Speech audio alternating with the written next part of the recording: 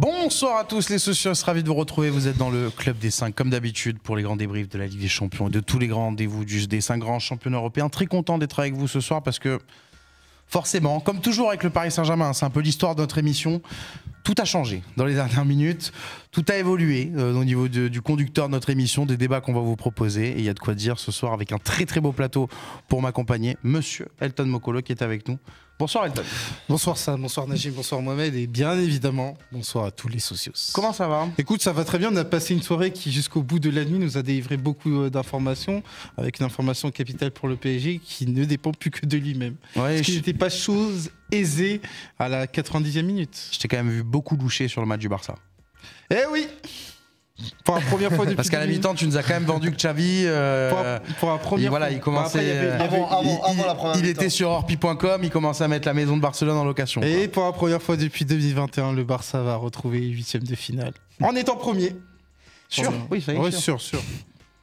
On est- Non, attends, il reste un match encore. Ouais, il euh, reste un match. Et mais- t'as quoi T'as 3 points d'avance sur. euh, Euh, sur Shakhtar? Ouais. Sur Shakhtar est en envers ce dernier match. Royal Antwerp, attention, hein, faut faire attention à, à cette équipe qui, euh, qui, euh, qui peut toujours jouer des, des sacrés tours. Bah, en fait, t'as besoin d'un point. Quoi. Oui, non mais bon, euh, attention, avec les, vu les dernières années, euh, restons prudents quand même avec le Barça. Najim Medini avec nous ce soir. Salut Sam, salut à tous, très content d'être là. Moi, ce qui me fait très rire quand même, c'est quand Elton Ah, nous dit, nous dit c'est la première fois depuis 2021. Alors que quand t'es supporter d'Arsenal, Ouais. ça peut être pour la première fois depuis 2010. D'ailleurs, euh, on t'attendait demain, nous. euh. Malheureusement, depuis je ne pourrais pas 2017, être là. Pour être, euh, depuis Malheureusement. 2017. Ah, depuis 2017 même. Donc euh, bon, Ah, c'est pour ça ça me fait rire parce que depuis 2021. Non, euh, non, oui, pour voir ça, un pas an, c'est une. C'était éternité. c'était le monde après le Non, Covid, non, ça compte pas. Non, non, non. Un an, c'est une éternité. Alors Oui, deux ans, c'est euh, une vie entière. Ah oui, Ouais, d'accord. en tout cas, on est passé par toutes les émotions ce soir. Passez deux ans en Ligue 2, après vous ferez des, des petites leçons. Là, pour le coup, c'était propre d'une cinquième journée, à savoir que tout était euh, indécis. Oui, et, euh, et tout a été indécis jusqu'à la dernière minute pour le coup. Il est avec nous, le coach maintenant du club des 5 jeudi, parce que avant on avait Yacine, maintenant on a Moha qui est avec nous, Mohamed Bezaoui. Comment Salut ça va, les gars, Mohamed comment ça va? J'espère que vous allez bien. Bah ça, Ça va, va. ça Ça va, ça va. Bah moi je note une chose aujourd'hui, c'est que tout. maintenant pour faire une émission du Club des 5, il faut avoir un col. Ah ouais Ouais. Ah ouais moi je suis là, je suis avec ma capuche, euh, là vous êtes là en mode Oui, beau gosse et mais- tout. Non. Lui il a son petit haut Mais ça, c'était- lui il a sa chemise comme d'habitude Elton et toi tu Très sors une petite... euh, Non mais ça c'est une les petite, réflexes, euh, c'est les réflexes d'avant quand ouais, on avait le je vais plateau sortir télé, la prochaine etc. fois, je sortirai mon, mon col. Je sortirai mon col. Ah, vas-y. Voilà. Mais après, Je suis c'est obligé de, de, Tu viens les bonsoirs aussi. de m'aligner. hein. Je viens obligé les bonsoirs. Eh dis, avant, avant, on avait le partenariat avec l'instant costume qu'on Ah, salue, donc on s'habitue aux Ils Ligues des peuvent Champions. toujours revenir. hein. Ils peuvent toujours revenir. Maintenant qu'on est plus en mode chill, comme on dit, ça va, c'est bon, on peut rester. C'est pour ça le, le sweat capuche. Et vous êtes beaux, hein, les gars. Mais t'inquiète pas que dimanche, quand je viendrai faire l'émission euh, après un week-end bien rempli, puisqu'on vous invite bien sûr samedi à être avec nous pour une très grande journée sur la chaîne du Club des 5, puisque on va euh, accompagner euh, le club du Red Star dans son dernier match, on va dire dans, dans son stade traditionnel, enfin dans sa tribune traditionnelle à Bauer, avant, Avant de, de passer au Craven Cottage. avant de passer effectivement au, au, Cra- au Craven Cottage de- de- du nord de Paris. Et donc, on sera en direct à partir de 18h. On fera l'avant-match pendant une heure et demie. Il y aura beaucoup de monde qui sera, qui sera avec nous du côté du, du Stade Bauer euh, pour, pour cette émission. On vous diffusera le match sur la chaîne du Club B5. C'est incroyable ça. Ça, c'est une très grande première. On va diffuser un match. On, on sait jamais, peut-être que demain matin, euh, enfin, pas demain matin, lundi matin, peut-être qu'on arrêtera le Club des 5. Je pense pas, hein. Mais on pourra dire on a diffusé un match sur, euh, sur la chaîne du, du Club des 5. On vous diffusera donc le match commentaire avec Manu Moine que, que vous connaissez pour les, les fans de, de, de National et de Formule 1 bien sûr. Et notre ami Walid Acharchour. Et débrief du match en direct de, de Bauer bien sûr. Tout ça avec euh, pas mal d'invités comme je vous disais. Et donc euh, voilà, ça va être une, ça va être une, une belle, une belle après-midi. euh, une belle soirée d'ailleurs parce que c'est de ça à 18h et il fera déjà nuit et très très froid euh, comme prévu euh, ce week-end. Et donc pour y revenir... Moha, t'inquiète, dimanche pour faire le, le débrief de Atlético Barça, on sera en pull parce qu'on aura chopé froid la veille. Euh, Parce que ouais, c'est vrai qu'il fait très très froid. ouais, ah non, c'est J'espère que vous, vous- vous allez bien vous couvrir. Ouais, parce qu'on on a, que sincèrement, là, on, on a vu la météo, on a un petit moins 3 pour. Ah, euh, ouais. voilà, c'est- Ah oui, quand même. Ouais, voilà, ça va être sympa. On va sortir son pull. C'est bien de délocaliser, délocaliser l'émission quand il fait moins 3 degrés, c'est une On bonne va émission. sortir un gros pull oversize. Là, on sera Ouais, ouais. très bien protégé. On sera Attends, tranquille. moins 3. Euh, mais toi, de toute façon, Elton, tu es à la maison Red Star parce que tu nous as expliqué que tu avais marqué des buts. euh, Exactement, oui, oui. Ah, t'es ouais. titulaire Comment ça, Je sais titulaire pas, tu, tu vas jouer sur le terrain Ah non, non, non, d'accord, non. Non mais quand on a fait la, la- la- la- la vidéo d'intro de, de, de- pardon de teasing pour pour la, la- la- la vidéo de présentation, merci sur le chat Gwen qui, qui, qui me corrige. Euh, Elton a quand même osé nous dire sur le stade. Vous savez les gars que ici j'ai marqué un but euh, quand j'avais 10 ans. Ah, arrête. Ah, après, il, nous dit ça sur tous les stades. T'as pas dit à 10 ans j'ai pas dit- Ouais. T'as dit à quel âge. T'as pas donné d'âge Ah, Ou alors t'as dit il y a 10 ans non Non, bah non, il y a 10 ans, j'avais Ouais. quand même 20 ans. ça aurait été eh, compliqué. sur, sur le dernier five que j'ai fait avec Elton, sur une heure et demie, il a pas marqué sur le five. Donc effectivement, une heure et sur une demie heure et demie de five. Et il y a eu combien j'ai de quelques buts doutes. Il y a eu combien de buts Il y a eu combien de buts j'ai quelques doutes sur le fait qu'il ait marqué. avait pas de gardien. Après, Dans un- après, après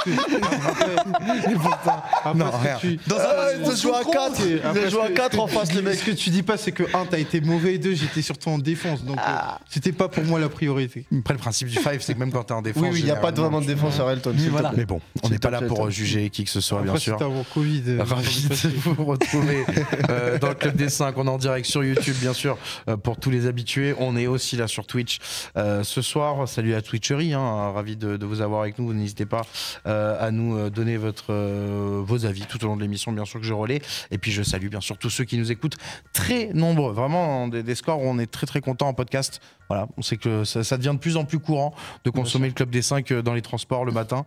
euh, plutôt qu'en live. Donc voilà, on, on salue euh, tous nos amis euh, de la team podcast euh, qui sont avec nous. Je vous présente le sommaire de l'émission tout de suite, qu'on bavarde, on bavarde, mais il y a quand même pas mal de choses à dire euh, sur la rencontre entre le Paris Saint-Germain et Newcastle euh, qui s'est terminée il y a quelques instants. On va revenir premièrement sur euh, ce résultat euh, à deux doigts de la correctionnelle. On a tout modifié dans les dernières secondes, mais on voulait quand même pas changer la teneur de notre débrief qui est quand même assez inquiétant du côté du Paris Saint-Germain, puisqu'on était à deux doigts d'enchaîner une troisième défaite en, en phase de poule, hein, ce qui n'était jamais arrivé euh, sous l'ère euh, QSI. À deux doigts donc de la correctionnelle, avec une fois de plus un collectif qui a un peu failli. On va en parler dans la première partie, mais aussi surtout dans la deuxième, parce que forcément, si le collectif a un peu failli à montrer certaines limites, on est aussi en droit de se demander pourquoi Luis Enrique a fait ses choix, quel était le plan euh, et quelles étaient euh, les consignes pour essayer de, venir à bout de, Newcastle ce soir. Vous nous donnerez vos avis, bien sûr, euh, dans quelques instants. Troisième partie de notre émission, on parlera quand même de Kylian Mbappé parce que Pareil, là aussi, le penalty change-t-il vraiment le débrief et l'avis qu'on se construit ce soir autour de, Kylian Mbappé, qui a fait de bonnes choses, hein, qui aurait pu être décisif à de nombreuses reprises dans la rencontre, notamment en faisant des passes décisives, qui, qui n'ont pas été euh, converties, mais qui euh, a buté euh, en tant qu'attaquant euh, sur, sur les buts de Newcastle jusqu'à ce penalty 97e minute. Rendez-vous manqué ou non pour Kylian Mbappé On va se poser la question et puis on terminera. On parlera de Newcastle aussi, un courant de l'émission. On l'a pas mis dans le sommaire, mais vous inquiétez pas. On reviendra sur la performance de- de- des Magpies et des hommes de, de Edio. Et puis, euh, on terminera, bien sûr, par notre instant partenaire avec euh, nos amis de Winamax. Pour l'instant, au tableau, ça fait longtemps qu'il n'y a pas eu en plus de. Enfin, il y en a eu un samedi, donc non, ça fait pas si longtemps que ça. Euh, mais on va quand même. Moi, ça fait longtemps que j'ai pas joué, donc je suis, content. On donnera donc bien sûr les pronos de, l'équipe en, fin euh, d'émission. On verra qui va tenter quoi sur la journée de demain. Il y a pas mal de matchs. A la Ligue des Champions. Il y a aussi un petit match de Liga et de Ligue 1 qui pointe au bout de son nez. Donc vous nous donnerez dans, dans une petite heure à peu près euh, vos pronos pour la journée de demain. Et puis on fera un petit point classement. J'aime bien faire un point classement. Je sais pas qui est premier, mais j'aime bien faire un petit point classement depuis, euh, depuis plusieurs semaines. idée. Ouais, j'ai une petite idée moi aussi. Je crois qu'il est habillé en rouge.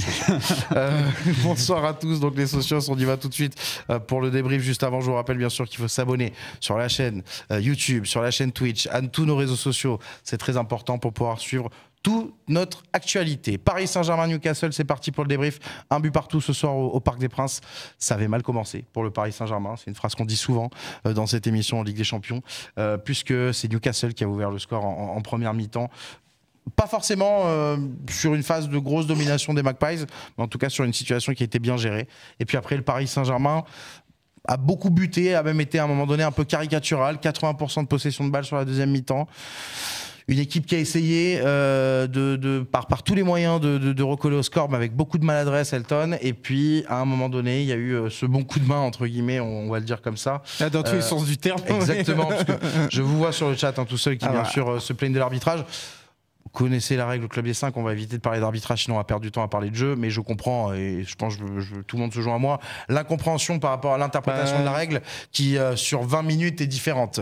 Euh, Il y a un premier penalty qui est refusé parce que euh, d'abord, le, le, le- enfin, le ballon touche la Oui, cuisse. en fait, ce qui, ce qui, ce qu'ils disent, c'est que aurait pas dû avoir son bras qui était. c'est qu'en voilà, fait, bon. le bras sur le penalty agrandit beaucoup trop L'amplitude, ouais, du, du corps. Certes, mais encore une fois, je peux comprendre les socios, les supporters parisiens qui sont un peu. On euh, dirait qu'il y a un problème d'uniformisation. Exactement. Après, c'est beaucoup d'interprétation de C'est pour ça, voilà, hein. exactement. Donc c'est pour ça que on l'évacue tout de suite ce petit débat, mais on comprend bien sûr euh, la frustration à, à ce niveau-là. Tout ça pour dire Elton que malgré ce bon petit coup de main, euh, enfin grâce à ce petit coup, de, ce bon petit coup de main, pardon, Paris s'en sort très bien. Bah, Paris s'en sort très bien parce qu'on va commencer par la fin, à savoir que quand tu regardes le classement, le PSG a son destin en main. À la 90e minute, c'était absolument pas le cas. Tu étais sur une perspective où tu as été déplacé à Dortmund, déjà qualifié, mais en ayant 4 points de retard sur Dortmund, donc tu pouvais pas les rattraper. Mais par contre, tu étais derrière Newcastle. Donc tu n'avais pas ton destin en main. Et quand bien même tu gagnais 5-0 sur la pelouse du Borussia Dortmund, et ben c'était surtout Newcastle qui pouvait gagner 1-0 et donc euh, dire au, PSG au revoir par rapport à la qualification huitième de finale. Là, avec le penalty de Kylian Mbappé, oui, l'ensemble demeure fragile, mais au niveau de la perspective, un, tu as ton destin en main par rapport à la qualification, et deux, la première place n'est pas encore Et compromise. pour répondre à David sur euh, Twitch, oui, tu peux encore jouer la première place parce que tu, c'est la ouais, différence bah ouais. particulière en Ligue des Champions. Et- en cas de victoire à Et c'est pour ça que j'ai l'impression que dans ce match, il y a eu énormément de chapitres pour arriver à cette conclusion. Alors que c'est un match de 90 minutes où tour à tour, tu as eu un PSG qui a bien commencé. Faut quand même le dire parce que dans cette idée de rapport de force voulu par Newcastle, moi j'ai trouvé que les sorties rapides du PSG étaient bien, avec en point d'orgue l'occasion de Bappé, euh, la talonnade de Bappé est repoussée par Pope. Et ensuite, à partir du moment où le PSG a commencé à un peu baisser rythme, et ben Newcastle est rentré dans la partie avec notamment Livramento, avec Bruno Guimaraes en regista qui a été très performant sur la première période. Et Newcastle a réussi à imposer une séquence qui aboutit à quoi? Qui aboutit au premier but. Et ça renvoie au PSG ces nombreux doutes par rapport à la Ligue des Champions. Ensuite, en seconde période, on voit que Newcastle commence à logiquement baisser de rythme parce que je vous rappelle que Newcastle arrive au Parc des Princes avec quand même 14 absents et donc on commence à le ressentir euh, à l'heure de jeu tandis que du côté du PSG avec des ajustements tactiques de Luis Enrique qui a Mbappé recentré dans l'axe on commence à avoir un PSG qui commence à faire le siège devant le but de Newcastle il commence à avoir des occasions. Barcola à deux reprises des, des grosses occasions où t'as Pope qui fait une parade qui est très importante, Barcola qui euh, tape le petit filet. Après, tu vois qu'il y, a une pe- il y a une période où le PSG, quand bien même ils sont devant la cage de Newcastle, il n'y a pas énormément de situations vers la fin de match. Et puis le doute s'installe, on le voit hein, dans les prises de balles, euh, dans les. Ex- les- les- Exactement. Là, les as actions, les qui commence à faire du all-in, il fait rentrer euh, Gonzalo Ramos. Donc, euh, tout, c'est tout pour l'attaque. Et à la fin, tu as cette occasion avec bah, la fameuse action polémique qui aboutit au penalty euh, de Kylian Mbappé et qui met ce but. Donc, euh, on est sur un PSG qui, au niveau comptable, je pense qu'aujourd'hui, pour le PSG, c'est la chose la plus importante, à savoir que tu as ton destin en main. Et maintenant, sur euh, la prestation, le fait est que tu fais un point sur 6 face à Newcastle et que surtout, au Parc des Princes, où tu devais asseoir ta supériorité en même temps que remporter ces trois points, tu n'as pas fait le boulot. 7 points, on l'a vu hein, pour le, PSG il y a quelques instants, euh, sur, euh, pour ceux qui sont avec nous sur YouTube et Twitch, hein, dans le classement du groupe, 10 points pour Dortmund. 7 points pour Paris, c'est tout simplement le plus faible total hein, pour le, Paris Saint-Germain sous l'RQSI euh, au bout de 5 matchs. Donc effectivement, on, peut, on, peut se contenter ce soir de, de cette non-défaite. Je le dis exprès volontairement comme ça, c'est pas une faute de, de français. Euh, mais on peut quand même constater que le Paris Saint-Germain ne fait pas ce qu'il faut dans cette euh, phase de, de, de- de poule de, Ligue des Champions. Euh, on peut quand même dire, Najim, que quelque part, c'est un nul logique ce soir, puisque le Paris Oui, Saint-Germain euh, a quand même fait le siège sur, sur le, le but de, de, de Newcastle. Mais pour pousser la réflexion, on peut même se dire que normalement, il ne doit pas y avoir nul. Paris doit, doit, doit remporter cette rencontre avec toutes les occasions qu'ils ont. Et que c'est surtout un, manque d'application et de justesse. Bah, déjà, il faut quand même rappeler qu'on nous a beaucoup expliqué qu'il y avait deux visages du Paris Saint-Germain, qu'on avait une équipe du Paris Saint-Germain à domicile, qui a été capable de l'emporter notamment face, face à Milan et face à Dortmund, et une équipe à l'extérieur qui avait un peu plus de difficultés, comme en témoigne à la fois la, défaite contre le Milan et à la fois la défaite contre Newcastle euh, 4 buts à 1 à Saint James Park. On attendait à ce que le Paris Saint-Germain à domicile face à Newcastle bah, nous montre euh, des choses positives. Et finalement, ça n'a pas été le cas sur la première période. Après, effectivement, le match nul n'est pas volé parce que, comme tu l'as dit, Sam, sur la seconde période, on a une équipe du Paris Saint-Germain qui euh, s'est installée dans le camp adverse, s'est procuré un bon nombre d'occasions. Alors, il y a ce pénalty qui est discutable, mais en tout cas, sur la physionomie de la seconde période, voir le Paris Saint-Germain marquer, c'est pas étonnant. Moi, surtout, ce que je retiens, le problème. Ça aurait même dû arriver dans un monde normal, ça Exactement. doit arriver avant. Parce que t'as- que- parce qu'avant l'action du penalty, j'ai oublié, t'as l'action de Mbappé qui. Puis euh, t'as- t'as aussi une action de Dembélé aussi. L'action de Dembélé. Voilà, et puis Les les deux occasions de Barcola, que, voilà, ça, ouais, mentionné. ça, je l'avais évoqué. Donc, euh, c'est pas étonnant de voir le Paris Saint-Germain marquer, mais ce que je retiens malheureusement, c'est qu'en fait, on a eu une équipe du Paris Saint-Germain qui était en réaction. On n'a pas eu une équipe du Paris Saint-Germain qui a essayé d'imposer son, son, son rythme pardon, sur, sur, la, sur la rencontre. Alors, on a eu 10 bonnes minutes Le pire, en c'est début qu'ils ont essayé de le faire. Ouais, ils ont essayé de le faire sur les 10 premières minutes, Ouais. qui étaient plutôt à il y a eu la grosse occasion Mbappé. d'Mbappé, mais il y a eu aussi la grosse occasion de Fabien Ruiz aussi en tout début ça, de match, ouais. sur un bon débordement de Dembélé. Mais derrière, moi, en fait, ce que j'ai pas compris, c'est que derrière ces 10 bonnes premières minutes, on a eu une équipe de Newcastle qui a réussi à faire changer le rapport de force. Il y a notamment cette situation avec une récupération d'Almiron très haut sur le terrain, centre vers Isaac, frappe d'Isaac qui passe au-dessus. Et derrière cette occasion, on a eu une équipe de Newcastle qui petit à petit a grappillé des mètres sur le terrain, un petit peu ce qu'ils ont fait d'ailleurs à Chelsea le week-end dernier, où petit à petit, bah, Newcastle, bah, ça a été l'équipe qui a dicté un peu, un peu le rythme sur la première période. Et moi, c'est ça que j'ai pas compris avec le Paris Saint-Germain, c'est ce, ce changement de paradigme, ce changement de plan de jeu au fil du match. Et malheureusement, une équipe du Paris Saint-Germain, encore une fois, qui a été à la réaction. On a vu beaucoup de choses négatives sur la première période. Et pour la suite de la compétition notamment, et notamment pour la, la sixième journée, voire même plus loin si on se projette, c'est pas forcément Moi, je pense que ça a été rassurant. beaucoup plus décidé par Newcastle parce qu'il faut mettre en avant ce qu'a fait Newcastle dans l'idée d'attaquer euh, sur euh, tout, euh, sur tous les Et ça devrait terrain. pas être le cas d'ailleurs. Ouais, ils ont exploité la largeur. Et pourquoi je dis ils ont exploité la largeur? Parce qu'on a bien vu qu'il y avait un élément qui avait été ciblé.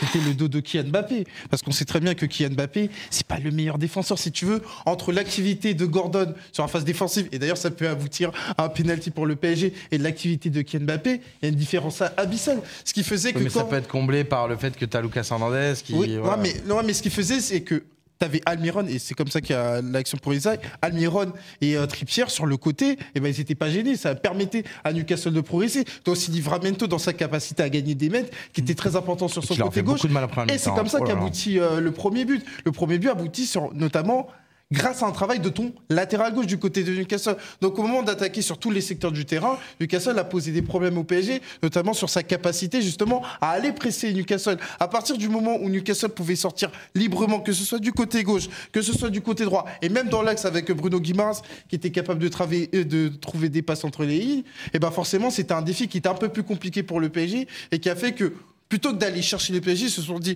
bon, on va aller sur une, sur une situation un peu plus confortable. On va revenir notamment en bloc médian, mais c'est comme ça qu'arrive le premier but. Moha, j'aimerais te faire réagir à- au commentaire de, de Tom Tom qui sur Twitch nous dit euh, qu'il a quand même trouvé que le, le PSG ma- maîtrise et domine sa rencontre, mais euh, souligne l'incapacité de, de concrétiser. Non, non, la non. capacité de concrétiser, on va en parler dans un instant. euh, on, on y consacrera on peut une pas partie. dire- on peut pas mais voilà, dire- moi, c'est ma question, c'était est-ce qu'il y a quand même un sentiment de, de domination et de maîtrise On ce peut pas dire non. ou uniquement de domination Justement, il y a, il y a tout sur le nom. Mais il y a- il y a- il- Comment il s'appelle Tom Tom Tom Tom. Ça, c'est les anciens GPS, ça, Tom Tom. C'est ça, exactement. C'est pas lui qui les a créés par hasard. Tom Tom et Nana aussi. Tom Tom et Nana, en fait, C'est pas, l'affaire, ouais. c'est le. Tom Tom, euh, Tu Tom Tom, tu euh, hein. je suis pas du tout d'accord avec toi, Tom Tom. Je suis pas du tout d'accord avec toi parce que. ce qu'il veut dire. euh, je pense qu'il est calqué sur la seconde tu période. peux pas dire. Oui, mais tu- en fait, tu peux pas dire qu'aujourd'hui le PSG a maîtrisé son match. Il y a pas, eu- il y a eu aucune maîtrise justement de la part du PSG aujourd'hui, comme il a dit Najim et comme a dit Elton sur leur sur leur petite synthèse sur le match, c'est que justement le PSG a réagi et n'a jamais au final vraiment dicté le rythme de tout au long du match, sur la durée du match. Il y a eu des moments très très forts du PSG, comme en deuxième mi-temps. Ça, c'est vrai, comme dans les dix, dix premières minutes. Mais quand on parle de maîtrise du match, c'est une maîtrise du match. C'est une maîtrise où, de la première minute à la 90e minute, tu as maîtrisé ton débat. Même si tu encaisses, tu peux encaisser un but. Hein. C'est pas parce que tu maîtrises euh, ton match que tu peux pas euh, perdre 1-0, 2-0. Ça, c'est des choses qui arrivent. Mais euh, dans, la, dans, la, dans les phases de jeu, dans les constructions, techniquement, dans le rythme du jeu, euh, dans l'intensité, etc., dans les duels, on peut pas dire aujourd'hui que le PSG a maîtrisé son match parce que bah, ils ont une grosse période de trou pendant 40 minutes, quasiment en première et c'est là où ils encaissent le, le, le 1-0. Et là, au PSG, euh, il se passe absolument rien du tout. T'as un milieu de terrain qui se fait manger par, par, les trois euh, qui étaient là euh, face à Newcastle comme, euh, comme allait d'ailleurs. Et je me suis dit que bah, au final, le PSG n'a pas, n'a pas appris de ses erreurs du match aller parce qu'au match aller, ça a été un peu la, plus grosse problématique pour moi dans ce secteur de jeu-là contre, contre Newcastle. T'as aussi les trois de devant qui étaient très stériles. Et t'as euh, malheureusement aussi la, la- la ligne de 4 qui était en grosse difficulté. Donc euh, sur, les, sur les 40 minutes qui suivent, qui suivent le but de. Même un peu avant d'ailleurs, euh, de, de Newcastle, t'as t'as- t'as P- t'as le PSG qui maîtrise absolument rien du tout. Donc que le PSG maîtrise sa deuxième mi-temps, oui, ça on peut le dire, parce que Bah, Newcastle t'installes était. un rapport de force qui Mais- fait que Newcastle. Exactement. Mais, dire que sur tout le match, non, Mais ça c'est pas possible. Juste sur la seconde période, il faut insister sur le fait que c'est circonstanciel. Pourquoi? Parce qu'on a une équipe de Newcastle qui mène un 0 et qui surtout sur le banc n'a que des U12. Ils n'ont pas été capables de faire des changements. Il y a eu zéro changement de la Ouais, part de a- Newcastle. Ouais, parce que le joueur le plus coté, c'était Lewis Hall. Exactement. 17 minutes en première Qui a- ligue. Et qu'à 20 ans, je crois. Bah, Donc, en ça. fait, quand t'as quand t'as autant de blessés et que sur ton banc. Bah, t'as bah, pas vu à la fin, ils sont tous carbo. Exactement. T'as aucun joueur bah, qui est capable de, de pouvoir réimpulser un petit peu de fraîcheur. Bah forcément, tu, tu peux pas presser comme Bien ils l'ont fait pendant 40 minutes en première période sur toute la rencontre. Donc on a eu une équipe de Newcastle qui a joué beaucoup plus bas, qui effectivement sur la seconde période, autant il y a des choses très positives à dire sur la première période, autant sur la seconde période Newcastle n'a pas joué au football. Mais est-ce qu'ils est-ce qu'ils en avaient les moyens? J'en suis pas Moi, je certain. pense que Najim, moi, je te, je te rejoins sur le fait que c'est vrai qu'au niveau du banc, ça a été très restreint au niveau du, du- de l'effectif. Ça, c'est vrai. Pas beaucoup de choix, pas beaucoup d'options. Mais Ce mais- soir, il mais- manque un peu le coup parfait quand même à Newcastle, hein. ouais, déjà, ouais, en plus, c'est vrai. Mais, mais, mais, mais ce qui m'a posé le plus problème, c'est que tu peux faire un bloc bas. Tu peux décider de faire un bloc bas. À partir du moment où tu fais un bloc bas, bah, le but, quand tu récupères le ballon, bah, c'est d'avoir des transitions rapides dans le dos. Sauf que là, tu fais même plus un bloc bas, c'est un bloc plus que bas, puisque tu étais quasiment dans la surface de réparation. C'était un match de handball. Et quand tu récupérais la balle, bah, il y avait rien qui se Ouais, passait. Il y avait, y avait, y avait même pas de, de, de, de, de, de, coup offensif. Euh, tu vois, il y avait même pas de projection au moins de la part des trois de devant. Enfin, je veux dire, il y avait plus rien. C'était vraiment une.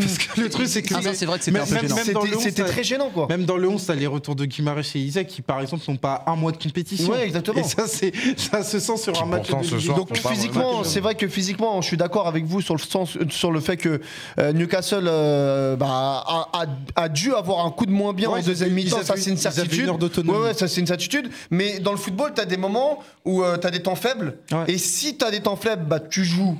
Tu peux jouer bloc bas, ça, ça, c'est possible, bien évidemment que c'est possible, mais tu dois aussi avoir à t'adapter et, et- et avoir cette qualité-là que quand tu as un temps faible, c'est transition. Le problème, c'est que sur la transition défensive ou offensive, aujourd'hui en deuxième mi-temps, elle était inexistante. À partir du moment où New- Newcastle récupérait la balle, c'était euh, ballon en touche. Oui, non, euh, clairement, on a senti de la crainte et même- voilà, putain, un il y a une Dis-toi, grosse à crainte. deux, à deux reprises, les moyens de faire mal au PSG parce que Skriniar, à un moment donné, il prend un jaune qui est euh, franchement stupide parce que Newcastle était en position. C'est à quel moment où il prend le carton euh, jaune vers, euh, la rappelle plus. 60. Bah, déjà, Skriniar à la compris. 45e minute. Ouais, à la passe- 45e il minute, il, est- il est très de- limite. voilà. Mais, mais, déjà- mais c'est vrai qu'à la différence du match aller, t'as pas eu ces fameux spots pour faire mal au PSG au moment où le PSG jouait son Vatou pour égaliser.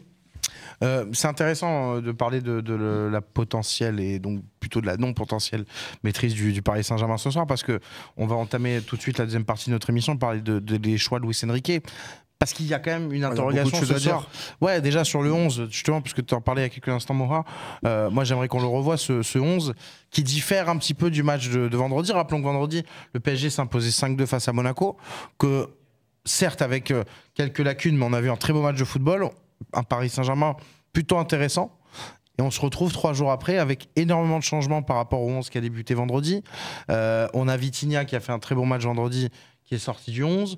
Euh, on a un Mukele qui, euh, euh, a prouvé- plutôt, ouais, qui a prouvé sa mal. polyvalence Oui, et qui a été oui, plutôt intéressant, même si encore une fois le PSG a pris deux buts dans ce match, mais euh, qui, qui- qui, Et en en, tout cas. et en plus, en termes de complémentarité, Voilà. Hernandez avec Skriniar, ça aurait été beaucoup plus. Et- Ou avec Danilo. Hein, Après, le truc, c'est voilà, que on, avait, on avait une défense peut-être un peu plus polyvalente là aussi en termes de, de- de profil.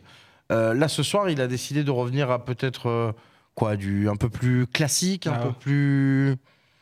Qu'est-ce que Là, c'est classique, déjà vraiment- parce Bah, que bah, pour le coup, oui, il est revenu sur un aspect classique. Et après, il faut avoir une cohérence dans nos analyses. Après, ouais, après moi, ce qui me met- c'est pour ça que le, le- le terme classique m'a fait un peu tilter, c'est parce que Est-ce que si- est-ce qu'il a déjà des classiques, euh, Luis Enrique euh, Ouais, bah, si, pour le coup, si- s'il y a bien une composition d'équipe qu'on aurait pu, entre guillemets, deviner, c'est celle-ci. Enfin, là, pour le coup, Ouais, mais avec Non, franchement, moi, sincèrement, alors là, jamais j'aurais pensé. Emery, oui, mais sans. Là, jamais j'aurais pensé que. euh, Que Vitinha allait être sur le banc Non, que euh, Danilo allait commencer avec euh, Skriniar. Moi, j'avais la- la- l'intime conviction que c'était euh, Théo Hernandez qui allait commencer euh, dans la charnière centrale avec euh, Mukiela à gauche parce que c'est ce qu'on voyait Lucas, Lucas.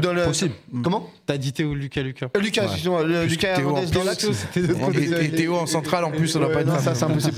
Euh, Lucas Hernandez dans l'axe, parce que là, quand même, avec Danilo et, et Skriniar, on a quand même euh, une charnière centrale, euh, peut-être la- l'une des charnières centrales actuellement dans, le, dans les plus grosses équipes de, de- de Ligue des Champions, peut-être la plus lente. De, qu'il y a parce qu'à partir du moment où il se passait quelque chose dans, dans leur dos, ils étaient en difficulté. Il y avait euh, l'action phare là de, de Skriniar quand il, a, il rattrape euh, extremis euh, Is- Isaac, mais il est d'une lenteur Ouais. à se retourner. Moi, je me suis dit, ouais, C'est incroyable. Et le mec, en plus, la balle, elle tombe miraculeusement sur, euh, sur, sur sa côte ou sur sa cuisse. Ah, sur sa main. Et même, et même quand il- au moment où il se relève, juste avant où il se relève, il sait même pas où est la balle, donc ça veut dire que son geste n'était même pas maîtrisé. main, voilà, exactement. Donc ça veut dire que le mec, hein. euh, en fait, il a eu un, un coup de chance. vraiment euh, rassurant, Skriniar. euh, ben, vraiment pas rassurant. Et quand tu mets un mec aussi lent que lui, Danilo, qui n'est pas un mauvais joueur, hein, mais qui est aussi lent que lui, et que tu fais une charnière centrale au final qui n'a aucune complémentarité sur un match aussi important, mais tu prends un risque euh, phénoménal. Après, pour le coup, je pense qu'il a voulu rester euh, fidèle à ce qui, euh, ce qui marchait, entre guillemets, depuis le début de saison, avec euh,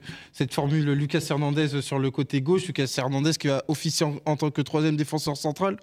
Parce que du côté du PSG, j'ai le sentiment qu'il fallait choisir son poison. C'est-à-dire que si tu mettais Lucas Hernandez dans le rôle à côté euh, de Skriniar, quid de celui qui allait euh, éteindre, enfin tenter d'éteindre l'activité d'Almiron et de Trippier, parce qu'on savait très bien que Kylian Mbappé, au moment de défendre, ce serait compliqué. Donc moi, je pense qu'il a voulu rester fidèle, notamment à cette formule bah, euh, qui marche depuis le début de saison, avec Lucas Hernandez dans ce rôle-là, et Danilo, qui était quand même utilisé dans ce rôle-là en début de saison, et ben il venait de manière En naturelle. difficulté, hein, Danilo, ce soir, comme Skriniar. hein. Beaucoup moins que Beaucoup moins que Ah, oui, c'est beaucoup sûr que moins que Skriniar. oui, oui, mais- Parce que si tu veux, Mais j'ai eu l'impression qu'il avait eu au moins beaucoup moins de, de moments difficiles Ouais, aussi. Et pas, forcément moins bon qu'un Marquinhos aussi sur le début de saison. Oui. Oui. Même si euh, Marquinhos est Mais encore, aujourd'hui. deux comparaisons qui Non, mais sont pas très. Euh, Et voilà. après, sur ton choix sur le, milieu de terrain, et c'est pour ça que je dis qu'il faut avoir de, la cohérence, parce qu'au match aller, on accuse euh, Luis Enrique de faire un choix fantaisiste. Au match retour, on lui reproche d'avoir une formule classique. Oui. Et de Non, la même moi- manière. Oui, mais c'est le choix, c'est plus le choix des joueurs qui vont Voilà, qui sont c'est-à-dire formule classique. est-ce que, le, est-ce que Non, le- mais la moi, je formule vais- classique, c'est pas avec Après, sur, pour le sur le choix individuel,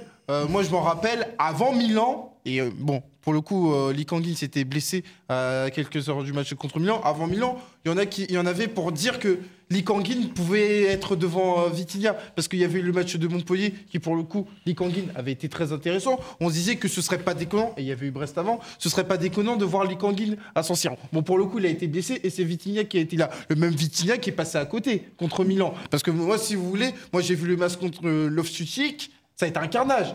Donc euh, tu vois, tout ça pour dire que c'est des choix qui jouent à la marge et qui disent quoi? Ils disent que, et d'ailleurs ça a aussi une influence sur euh, les postes en attaque, c'est qu'il n'y a personne qui se détache. Il n'y a personne qui se détache au moment de dessiner ton 11 de départ. Et c'est bien ça le problème. Là, la problématique, c'est que tu as, le milieu de terrain, tu as le milieu à 3, qui est pour moi une bonne chose par rapport au match aller, parce que le match aller, ça a été une, fantaisie. euh, euh, je sais même pas comment, comment dire, mais ça a été n'importe quoi de la part de, de Luis Enrique. Mais en fait, tu as, le choix du joueur Fabri- Fabian Ruiz à la place de Vitinha. Comme tu as dit Elton, il y en a beaucoup, et moi je le pense aussi, que Lee Kang-in, je pense que c'est un joueur qui peut jouer dans ce milieu à 3, même à la place de Vitinha. Je pense que c'est un joueur qui peut apporter aussi d'autres choses que, que Vitinha. Ça, c'est une chose. Mais tu as quand même l'opportunité aujourd'hui d'avoir une complémentarité dans ton milieu de terrain parce que Lee Kang-in, sur euh, le poste de milieu relayeur à droite, pour moi, c'est là où il est le, là où il est le meilleur parce que c'est là où il est, là où il est faux pied. Et tu as aussi Vitinha qui, normalement, normalement, est le meilleur est meilleur quand il joue milieu relayeur à gauche. Donc là, tu as une, t'as une possibilité d'avoir une complémentarité dans ton milieu de terrain, mais toi, tu choisis de mettre Fabien Ruiz à la place de euh, Vitinha.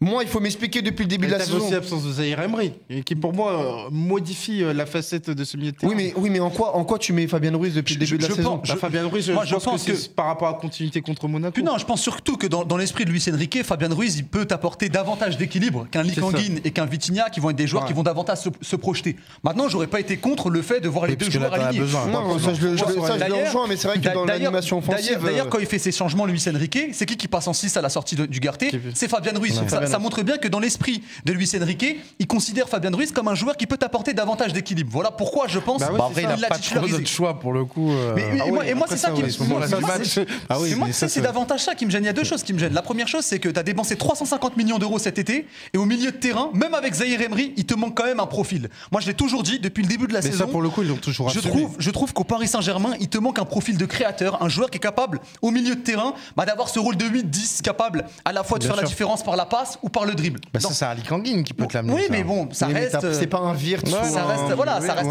assez, moyen, même en termes de qualité, tu vois. Que ce soit un Wirtz, euh, que ce soit un, un, que ce soit un Fabian Ruiz, ce sont pas des joueurs véritablement qui peuvent jouer ces rôles de créateurs. Pour moi, il y y, a un manque, malgré un recrutement quand même assez faramineux qui a été réalisé cet été. Et puis, la deuxième chose, c'est qu'on parle des choix de Luis Enrique.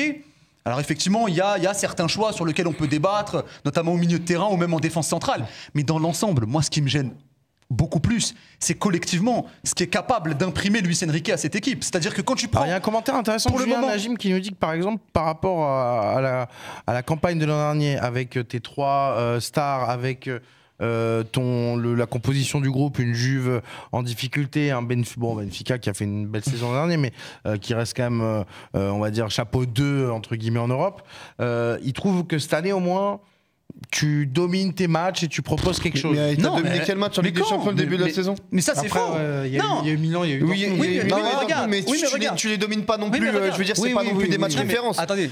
On- Si, on si on prend les matchs, si si on prend les matchs euh, euh, qu'on a Et eu qui dit quelque chose actuellement. d'intéressant, d'ailleurs, Julien, un commentaire après qui dit que le, le 8 C'est le même Julien Le 8, ouais, c'est le même Julien. Bon, tu qui vas t'arrêter, Julien. Non, maintenant. mais qui, qui Non, mais nous dit pour répondre à 8-10, Julien. Le 8-10, tu l'as, tu l'as prêté à Leipzig. Ouais, ouais, voilà, d'ailleurs. Euh, Ça, ça je suis Oui, d'accord avec ouais. lui par, rapport- Ouais. par rapport à ça.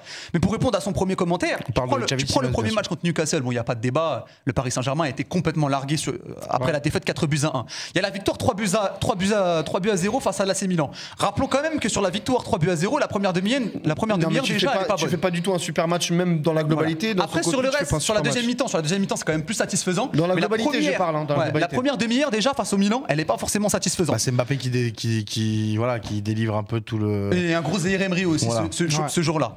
Ensuite, tu as, C'est la défaite de buts à 1 contre le Milan. Sur la défaite de buts à 1 contre le Milan, si tu m'expliques que tu as maîtrisé et dominé le match, on n'a pas vu le même match. Tu pas été bon ce, ce- ce jour-là à San Siro. Et puis tu as la, la première victoire contre Dortmund, une victoire de buts à 0, où là, effectivement, tu as davantage maîtrisé le match, que ce soit Et en termes de position et en termes de contre-pressing, même si, en toute honnêteté, c'était pas folichon non plus La hein, la victoire non, contre la Dortmund. C'est une belle victoire, mais sans plus. T'as aucun Donc, match aujourd'hui, référence cette saison. T'as pas de match référence. T'as T'as aucun. beaucoup de doutes quasiment à tous les matchs. Parce que je- on, on en a parlé, mais si tu reprends notamment la, déf- la- la- la victoire 3-0 contre le Milan, la première demi-heure notamment, tu souffres énormément parce que l'AC Milan t'impose un gros pressing sur des phases de, sur des phases de défense placée. Non, même au Parc des au Princes. Ah, pas des Princes, sûr. Donc, donc en réalité, si tu ressors pour le moment de ces cinq premiers matchs, moi en toute honnêteté, on peut parler des choix de Luis Enrique, mais c'est même plus collectivement ce qu'il est capable d'imprimer à cette équipe qui me dérange. Et j'ai l'impression, et on en avait déjà parlé il y, a, il y deux ou trois semaines, qu'on avait parlé déjà du Paris Saint-Germain face à l'AC Milan, je trouve qu'on est extrêmement indulgent avec Luis Enrique. C'est-à-dire que aujourd'hui, Indulgent par rapport à quoi? on est indulgent par rapport aux autres coachs qui sont passés déjà. je Bah, pense après, que c'est. Oui, mais non, c'est la réalité. non, non, non, C'est bah c'est la réalité. je trouve très dur, là, quand même. Ça- c'est mon avis. Il y a contexte et contexte. Ouais. D'accord, il y a un contexte C'est-à-dire qui est que les complètement autres différent. entraîneurs capitalisaient sur une ossature qui avait 6-7 ans de vécu commun. Ça n'a rien à voir avec ce PSG. Oui, d'accord, ok, mais quand t'as dépensé si, 350 millions d'euros, Ouais, mais bah ne, non, ne bah parle non. pas de reconstruction. Bah non, bah non, non, t'es- bah non, t'es- 350 millions, faut contextualiser. Oui, mais c'est la réalité. T'as as dépensé, t'as dépensé cet été 350 millions d'euros et aujourd'hui la question qu'on se pose, c'est pas est-ce que le Paris Saint-Germain va terminer premier ou deuxième, c'est est-ce que le Paris Saint-Germain va terminer deuxième ou troisième. Et moi ça, ça me dérange. Ouais, mais clairement. 350 millions, c'est pas une fin Alors, on rappelle qu'ils peuvent terminer premier aussi. Hein, Ouais, voilà. euh, Mais- et, et encore une fois, je- la 300 seule chose qui est sûr. sûre aujourd'hui, c'est que le Paris Saint-Germain ne sera pas quatrième et sera en Europa League. C'est une somme qui est colossale, colossale et qui te fait dire que cette équipe Surtout devra- comparé aux autres de- équipes de- du groupe. et qui fait dire que cette équipe devrait avoir un meilleur saut qualitatif, devrait avoir un plafond plus important. Là-dessus, je suis d'accord. Mais maintenant, 350 millions, pourquoi? Parce que tu as rénové ton équipe et tu as notamment Oui, et puis- rénové. Et pas forcément de la meilleure des manières. Parce que on- Ah, mais ça, oui, mais ça, c'est pas indiqué, ça. Ah, mais ça, d'accord, ok. Mais ah, c'est bah, pas Enrique. pas à un moment donné, quand tu as vidé ta colonne vertébrale euh, quasiment, et on parle d'une équipe qui avait un vécu commun de 6-7 ans, mais il faut comprendre que dans le football d'aujourd'hui, c'est colossal. Après, 6-7 non, ans. mais C'est pas Luis équipes Enrique, c'est aussi Luis Enrique qui- Non, mais qui- quand il y a qui a des aussi équipes son mot à dire sur le recrutement. 3 ans en termes de vécu commun, là, tu as dit adieu à des joueurs qui ont été là depuis 6-7 ans et qui ont contribué à façonner l'identité du PSG. Qu'un seul. Hein Qu'un seul. Je vais dire, mais euh, Neymar, il a fait 6 ans au PSG. Oui, c'est Ah bah vrai, oui, ah oui, bah oui, bah Non, tu vois, vrai, vrai. ça, ça participe à ça. ça C'est là où c'est malheureux pour Neymar, mais aujourd'hui, tu peux est pas arriver compte. et tu peux pas dire que parce que tu as recruté 350 millions, tu vas avoir la même équivalence en termes de niveau brut. Mais en oui, mais Non, en tout cas, tu peux avoir le même niveau d'exigence. Mais moi, là, là, là, là où malheureusement, mon constat, c'est de passer la poule. Mon constat, c'est que j'ai la sensation que, que cette saison, en tout cas, le niveau d'exigence envers le Paris Saint-Germain de Luis Enrique n'est pas forcément le même que celui des années précédentes. C'est-à-dire qu'aujourd'hui, tu as d'autres coachs qui auraient fait exactement la même campagne de Ligue des Champions, ils auraient été lynchés sur la, sur la place publique. C'est pas le cas de Luis Avec- Enrique. ah, je là dis pas qu'il faut qu'il le soit, euh, mais je trouve qu'il y a quand même un peu moins d'exigence. À l'époque, on aurait dit effectivement, il y a un an, euh, t'as Galtier qui fait ça, on dit ouais, mais il a Messi, Neymar, Mbappé, ce qui n'est plus le cas. Je- je- vais même te dire une autre chose. Des, des, des, Je vais- des- je- regarde, des- des au- faits qui expliquent que Aujourd'hui, qu'Enrique soit un peu aujourd'hui, tu regardes un petit peu ce qui se dit. dans le Les critiques, elles sont tournées d'abord vers qui? Vers les individualités. Et moi, c'est ça qui me gêne aussi. Est-ce que oui. pourquoi, pourquoi, oui, bah pourquoi Bah, aujourd'hui à on parle pas aussi beaucoup de Luis Enrique, Bah non, non, qui est le à un garant moment du collectif À un moment donné, tu Et vois le niveau des individualités, parce qu'il y a une individualité, on va bien l'évoquer, Ouais, qu'à un moment pas. donné a demandé des responsabilités avec un S, je mets bien avec un S à la fin, et il me rend 5 matchs Ah, qui bien sont, pour un joueur qui est sur le podium du Ballon d'Or, qui sont Ça, je suis complètement d'accord voilà. avec toi. Donc, Merde, j'avais laissé Walid qu'on à Winamax ce soir en espérant qu'on allait voilà, se réconcilier avec Mbappé. oui, mais qu'on parle des individualités, oui, on va le faire. Mais j'exonère pas Luis Enrique. mais voilà, mais moi je préfère d'abord qu'on parle de Luis Enrique parce que tu viens de le dire, on vient de le dire, les cinq matchs dans l'ensemble n'ont pas forcément été très satisfaisants de la part du Paris Saint-Germain. Encore une fois, le garant du collectif c'est Luis Enrique.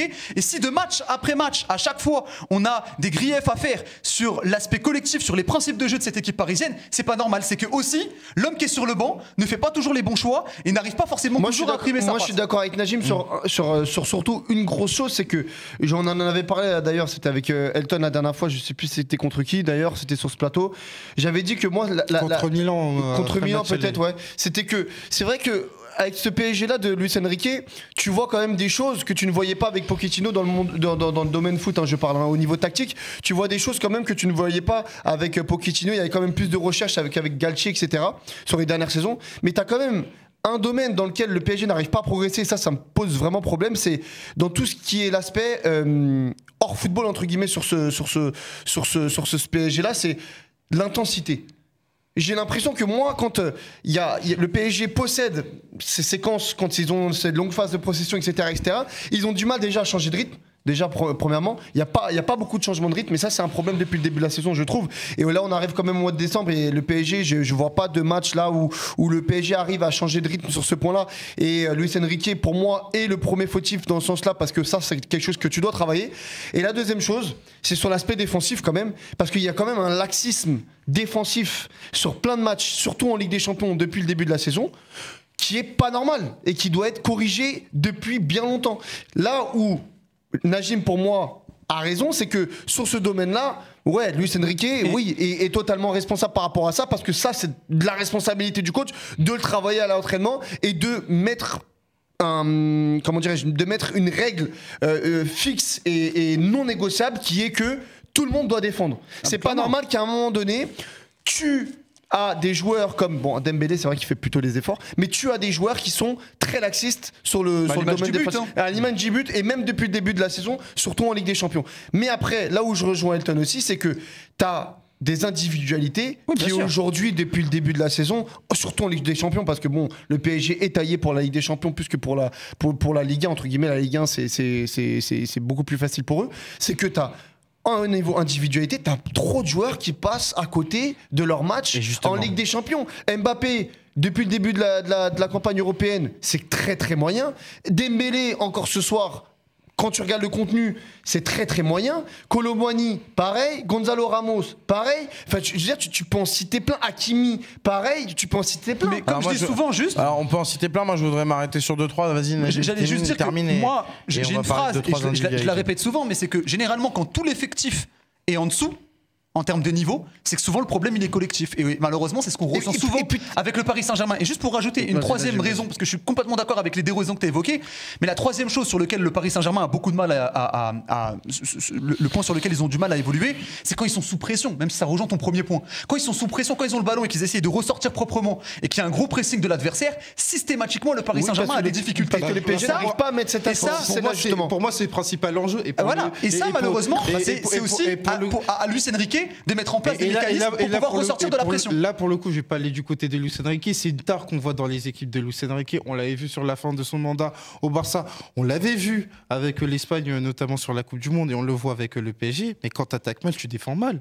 Parce que pour moi, c'est un problème qui est global. C'est-à-dire qu'à partir du moment où tu n'as pas des milieux de terrain qui te mettent en situation d'avantage dans le dernier tir, à partir du moment où tu n'as pas des attaquants qui vont bonifier tes ballons, et ben tu commences à perdre les ballons dans des zones qui sont largement évitables. Et à partir du moment où tu commences à perdre des ballons qui sont dans des zones largement évitables, et ben t'actives pas le pressing. Et comme tu n'actives pas le pressing, ben si tu veux, tu es le cul entre deux chaises. Je vais parler sous ton contrôle moi-même. Tu sais pas qu'est-ce que tu dois faire. Est-ce que je vais aller spontanément presser ou est-ce que je vais aller. euh, Mais ça, c'est quelque chose que tu dois travailler, tu dois Ça, savoir faire ce que mais, tu- mais ça découle à de chaque quoi fois sur Mais euh, ça découle situation. de quoi? Ça découle du fait qu'à partir du moment où tu perds le ballon dans des zones qui sont largement évitables, et ben forcément, et ben t'as pas préparé cette euh, justement cette fameuse transition défensive, ce qui était la force notamment euh, de Luis Enrique sur les 16 premiers mois de compétition avec le Barça, parce qu'ils savaient où ils pouvaient perdre le ballon entre guillemets, ils pouvaient activer leur pressing. À partir du moment où ils ont perdu ça, et ben ils ont commencé à être très friables, notamment à la perte du ballon, avec en point d'orgue ce fameux 4-0 au Parc des Princes euh, contre le PSG de Emery. Et là, c'est quelque chose qu'on revoit avec des joueurs qui, logiquement, ont moins de qualité que Lionel Messi, Neymar, Iniesta et toute la compagnie. Et puis t'as et, puis- et puis t'as quand même et t'as quand même on en, on- on- on- on en a parlé un peu là pendant le match euh, tous ensemble. Mais t'as quand même un joueur qui s'appelle Zahir Emery. Tu peux avoir une, une importance dans le jeu, une, une euh, pas une, je vais pas dire une, une dépendance, mais un joueur clé dans, dans un, dans, un, dans un effectif, ça c'est possible. Mais avoir un joueur clé de, à 17, de- Ouais, qui a ça, 17 ans au PSG, dans ce PSG-là, qui aspire forcément à gagner la Ligue des Champions, alors peut-être pas cette année, mais qui aspire à gagner la Ligue des Champions très rapidement en tout cas, avoir un joueur de 17 ans aussi important au milieu de terrain et que tu n'arrives pas à remplacer ce joueur-là, Ah, mais c'est quand même très très grave.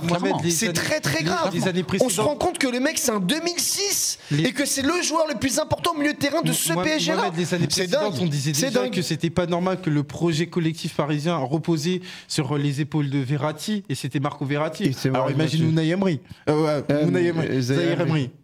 Et même sur les dernières années de Verratti, on disait que depuis que Thiago Motta était parti, de toute façon, euh, voilà, il n'y avait plus rien au milieu on de terrain, etc. Donc en fait, euh, Mais bah, de toute façon, je c'est le no man's land c'est- pas viable que ça repose sur les épaules euh, d'un joueur parce que là, pour le Non mais coup, avoir vous- mais regarde, aussi grosse importance sur les épaules de Zahir Emery, L'identité incroyable. l'identité C'est d'une équipe, elle est souvent définie par son milieu de terrain. Aujourd'hui, tu regardes le milieu de terrain du Paris C'est Saint-Germain. trop tendre. Même, c'est très difficile de les caractériser. Bah, un- quand on a parlé de, de Kanginli, euh, même de Vitinha, on ne sait pas véritablement comment les, véritablement Oui. les définir. Parce que ce sont des joueurs euh, un peu moyens, on ne sait pas véritablement.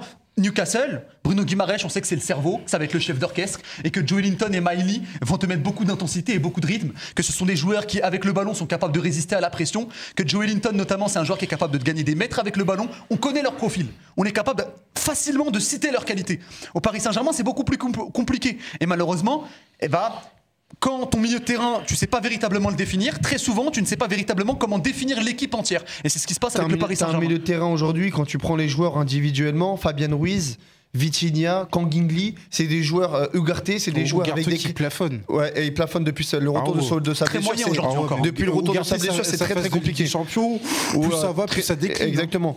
Et t'as- t'as des joueurs qui, quand même, avec des profils au milieu de terrain, quand tu prends les noms, quand tu prends les profils, t'as- c'est plaisant à voir. C'est des joueurs qui ont des qualités. Tu vois qu'ils ont des qualités, c'est des bons joueurs. C'est Mais qu'est-ce que c'est tendre C'est mignon, c'est tendre, c'est trop gentil. Tu peux pas gagner, pour moi, hein, tu peux pas gagner une Ligue des Champions avec ce milieu de terrain-là, c'est impossible. Tu vois, parce que t'as as un, t'as un, t'as un Vitinha où c'est intéressant, t'as un Fabien Ruiz où c'est intéressant, c'est bien, c'est propre, ça te fait des bonnes passes horizontales, dans la construction du jeu, etc. C'est pas mal. Mais quand il faut changer de rythme, quand il faut accélérer, quand faut. Quand faut... Il y a qu'un joueur qui sait le faire et c'est Zahir Emery. S'il y a que lui qui sait Et le il a faire. 17 ans. Et il a 17 ans. On le dit et, malheureusement, et malheureusement, si lui n'est pas là, bah t'as pas de changement de rythme au milieu de terrain. En tout cas, t'en as beaucoup moins. T'as Vitinha qui sait un peu le faire, mais qui le fait beaucoup moins, qui est beaucoup un joueur dans, les, dans, dans le jeu de passe. Mhm. Et- Et t'as que lui qui peut le faire. Et ça, c'est vraiment problématique. Alors, euh, je vous- on a un peu balayé la défense et, et les milieux de- depuis le début du, du débrief. Je vous disais qu'on je voulais quand même revenir sur deux trois individualités avant de parler de, de Mbappé. Euh, on va faire euh, les deux extrémités. Du coup, on va prendre le, le gardien et, deux attaquants, trois joueurs avec un style assez différent.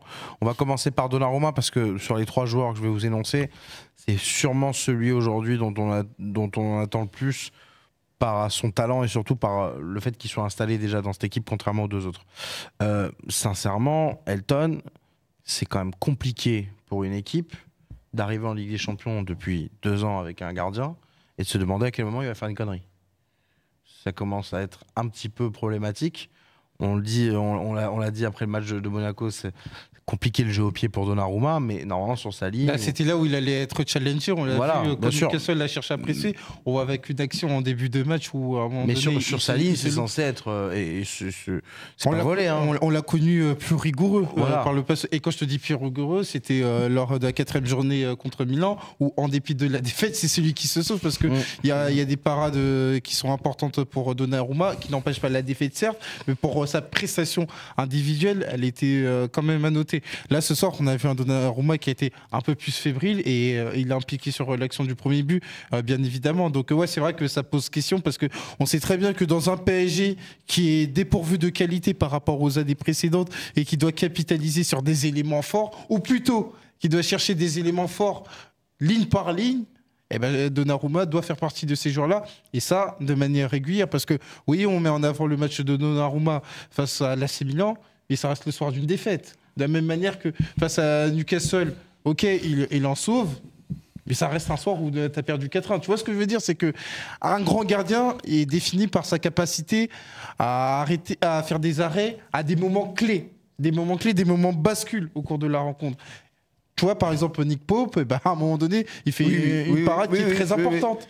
Donnarumma, il n'y a pas cette Mais en plus, en plus, était moi, très je, bon, moi, je suis pas supporter du, du Paris Saint-Germain, mais aujourd'hui, et franchement, on, on, on le rabâche et on va encore le dire, mais aujourd'hui, si je suis supporter du Paris Saint-Germain et que mon club décide d'enlever une valeur sûre et pour moi des- l'une des, meilleures recrues sous l'ère Qatari qui était Kylian Navas, Si ce n'est la meilleure. si ce n'est la meilleure, pour mettre Donnarumma Après Mbappé, bien sûr. aujourd'hui quand tu vois le résultat, mais moi j'ai tu tires une balle, tu Et puis- tires une balle. je vais même rajouter Tu te dis, quelque chose. c'est pas possible quoi. Si je suis supporter du Paris Saint-Germain et que je vois qu'un joueur du centre de formation, Mike Maignan, est aujourd'hui un des meilleurs euh, gardiens au monde, même si, même si tu remontes bien plus loin, bien plus loin. Sur Maignan, Ça fait toujours mal. Par exemple, ce soir, Maignan, il est derrière euh, le PSG. Oui, bien sûr, Bah, d'accord. mais en d'accord. termes de Mais si tu performance, compares- oui, si en termes de compares les deux performance, Antoine, il y a rien à voir. Si tu compares les deux gardiens, Il n'y a rien à voir. Il- Factuellement, Milan est derrière le PSG. Mais aujourd'hui. attends, Oui, mais c'est pas à cause de Maignan, C'est on pas à parle cause de là, C'est on pas parle à du cause de FC ou on parle du et- non, non, non. C'est pas Maignan FC, c'est le Milan FC. J'adore beaucoup, Mike- ressemble. beaucoup Mike Maignan, j'ai dit énormément de bien, mais PSG Milan, il passe à côté. On est Ouais, mais c'est quand même 3-0. beaucoup plus rare quand même que moi j'ai vu pas mal Non, de matchs depuis que le Maignan est arrivé. Clairement, Euh, il a fait clair- clairement oublier Non, Donnarumma alors que Donnarumma Non, à la. AC Milan c'était quand même Non, une valeur Pour le coup, pour le non, coup, non, je pense. Je peux comprendre que tu fasses l'avocat du diable de Donnarumma, mais Mike Moi, je peux pas- moi, je peux pas comprendre, un- un Elton. gardien Non, non, non, non, moderne. parce qu'on va Dans installer- l'ensemble, on- on Dans va- son jeu au pied, il est excellent, et sur sa Non, ligne, il est excellent. l'idée, c'est pas de faire un. Non, mais on va, installer, parenthèse. on va installer un discours qui, euh, en conclusion, va aboutir au fait que euh, Mike Maignan, que Donnarumma est le problème du côté du PSG. Moi, je dis Non, mais on n'en a pas dit ça. On n'a pas dit ça. Non, on est en train de dire que là, il y a eu un choix. Il y a eu un choix sportif. boutade. Ceux qui nous regardent, c'est assez clair, Donnarumma ne rassure toujours pas. Non, mais non, mais un on dit pas que c'est, on dit pas que c'est le problème parce que le PSG dans toutes les équipes même quand il y, a- il y a une défaite, quand il y a des problèmes au niveau au niveau des résultats, au niveau des contenus de jeu, etc. T'as pas, tu peux pas pointer du doigt qu'un seul joueur, qu'un seul gardien parce que c'est plus collectif qu'autre chose. Ça peut être même le coach, ça peut être un, un tout, mais on peut pas dire aujourd'hui que Donnarumma euh, c'est un choix sportif réussi de la part du PSG. Quand tu, quand, en fait, ce qui, me- ce qui me pose le plus Là, problème, pour le coup, par rapport à l'été 2021, où il arrive avec un statut de meilleur joueur euh, d'Euro, on avait dans l'idée que l'ascension Mais bah, oui, serait, serait- oui, exactement. serait Mais en fait, meilleur. Au, Ça, oui. au PSG, t'as un joueur, t'as un joueur qui est arrivé qui s'appelle Kylian Navas, qui t'a déjà donné satisfaction sur plusieurs saisons. Moi, ce que je comprends pas, c'est pourquoi, pourquoi tu décides de changer ça? C'est ça que moi j'arrive pas à comprendre. Alors, je comprends le fait qu'il y a l'aspect marketing, financier, etc. Non, tu le récupères pour 0 Le coût, euros, voilà, etc. Il est très jeune. pour 0 euros le meilleur joueur de l'Euro. Oui, exactement. En gardien. Je suis d'accord. Mais à partir de ce moment-là, il n'y a pas de souci. Alors, si tu veux venir l'installer au Paris Saint-Germain, alors à la rigueur, j'ai bien dit, à la rigueur, fais un turnover. Bah, c'est ce qu'ils ont, un- essayé- c'est ce qu'ils ont essayé au Mais non, mais tu, tu l'as fait sur combien de temps? Bah, tu l'as fait euh, jusqu'à la deuxième partie de saison. Ouais. Non, mais tu l'as fait trop moi, peu de fois, trop peu de fois, et pour moi, ça a été une réelle problème, une réelle Et- problématique, parce et- que le turnover, c'est que tu faisais jouer Donnarumma au final sur tous les gros matchs. C'est parce que c'est ce qui se passait au final. Donnarumma, il Bah, faisait. Sur la phase de pouce, c'est plus équilibré. Mais en championnat, en tout cas. Oui, en championnat, Quand- oui. Quand tu Mais- prends le ratio championnat et euh, Coupe d'Europe, c'est Donnarumma qui était beaucoup Ouais, plus vois, installé dès le départ final, même que ça, Navas. Même ça, on a critiqué Pochettino parce qu'on lui a dit ouais, c'est un poste ultra spécifique. Il y a besoin d'avoir un numéro 1. Et à l'époque, tu vois, cette idée de turnover était mal vue. Oui. Donc, non, tu moi, vois, forcément, j'ai jamais été fan du turnover. pour Ouais, le voilà, coup. en plus. Non, moi, au niveau En de la plus, gestion sportive, en réalité. Moi, chez moi, ça me pose pas de problème, moi, le turnover en- chez les en- gardiens. en vrai Non, de moi, vrai, toi, en moi, ça me pose pas de problème. énormément de mal. Ouais, moi. moi, en vrai de vrai, bon, effectivement, c'est vrai qu'en 2021, quand Donnarumma arrive, on s'attend quand même à une trajectoire ascendante de la part de Donnarumma. Et on s'attend à ce qu'il apporte une plus-value à- au Paris Saint-Germain. Mais aujourd'hui, ça fait combien de temps qu'il est arrivé? Plus de Ouais, deux ans? Ouais. Plus de deux ans après, si on en fait le constat. J'ai quand même la sensation qu'il fait perdre beaucoup plus de points au Paris Saint-Germain Bien- qu'il en fait gagner dans les gros matchs notamment. Bien On a encore en tête évidemment la double confrontation contre le Real avec Benzema, etc.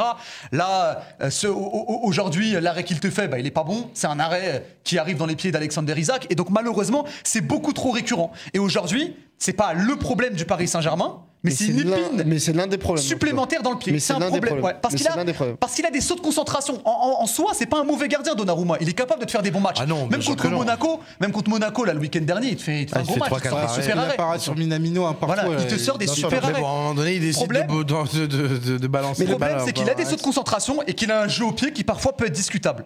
Et malheureusement, les deux additionnés en Ligue des Le Champions, problème, ça te fait de, perdre des problème points. de Donnarumma, c'est que quand il joue, c'est que soit sur un match, il va te faire des bourdes euh, avec son jeu au pied, et si c'est pas le jeu au pied, bah, sur l'autre match, il va te faire des bourdes sur sa ligne. Ah, Donc à un moment donné, tu sais même pas, Il y a un tu sais moment- même pas comment, problématique. comment, comment t'y prendre avec euh, Donnarumma. C'est quoi C'est quand même problématique. faut faire des séances de tir au but.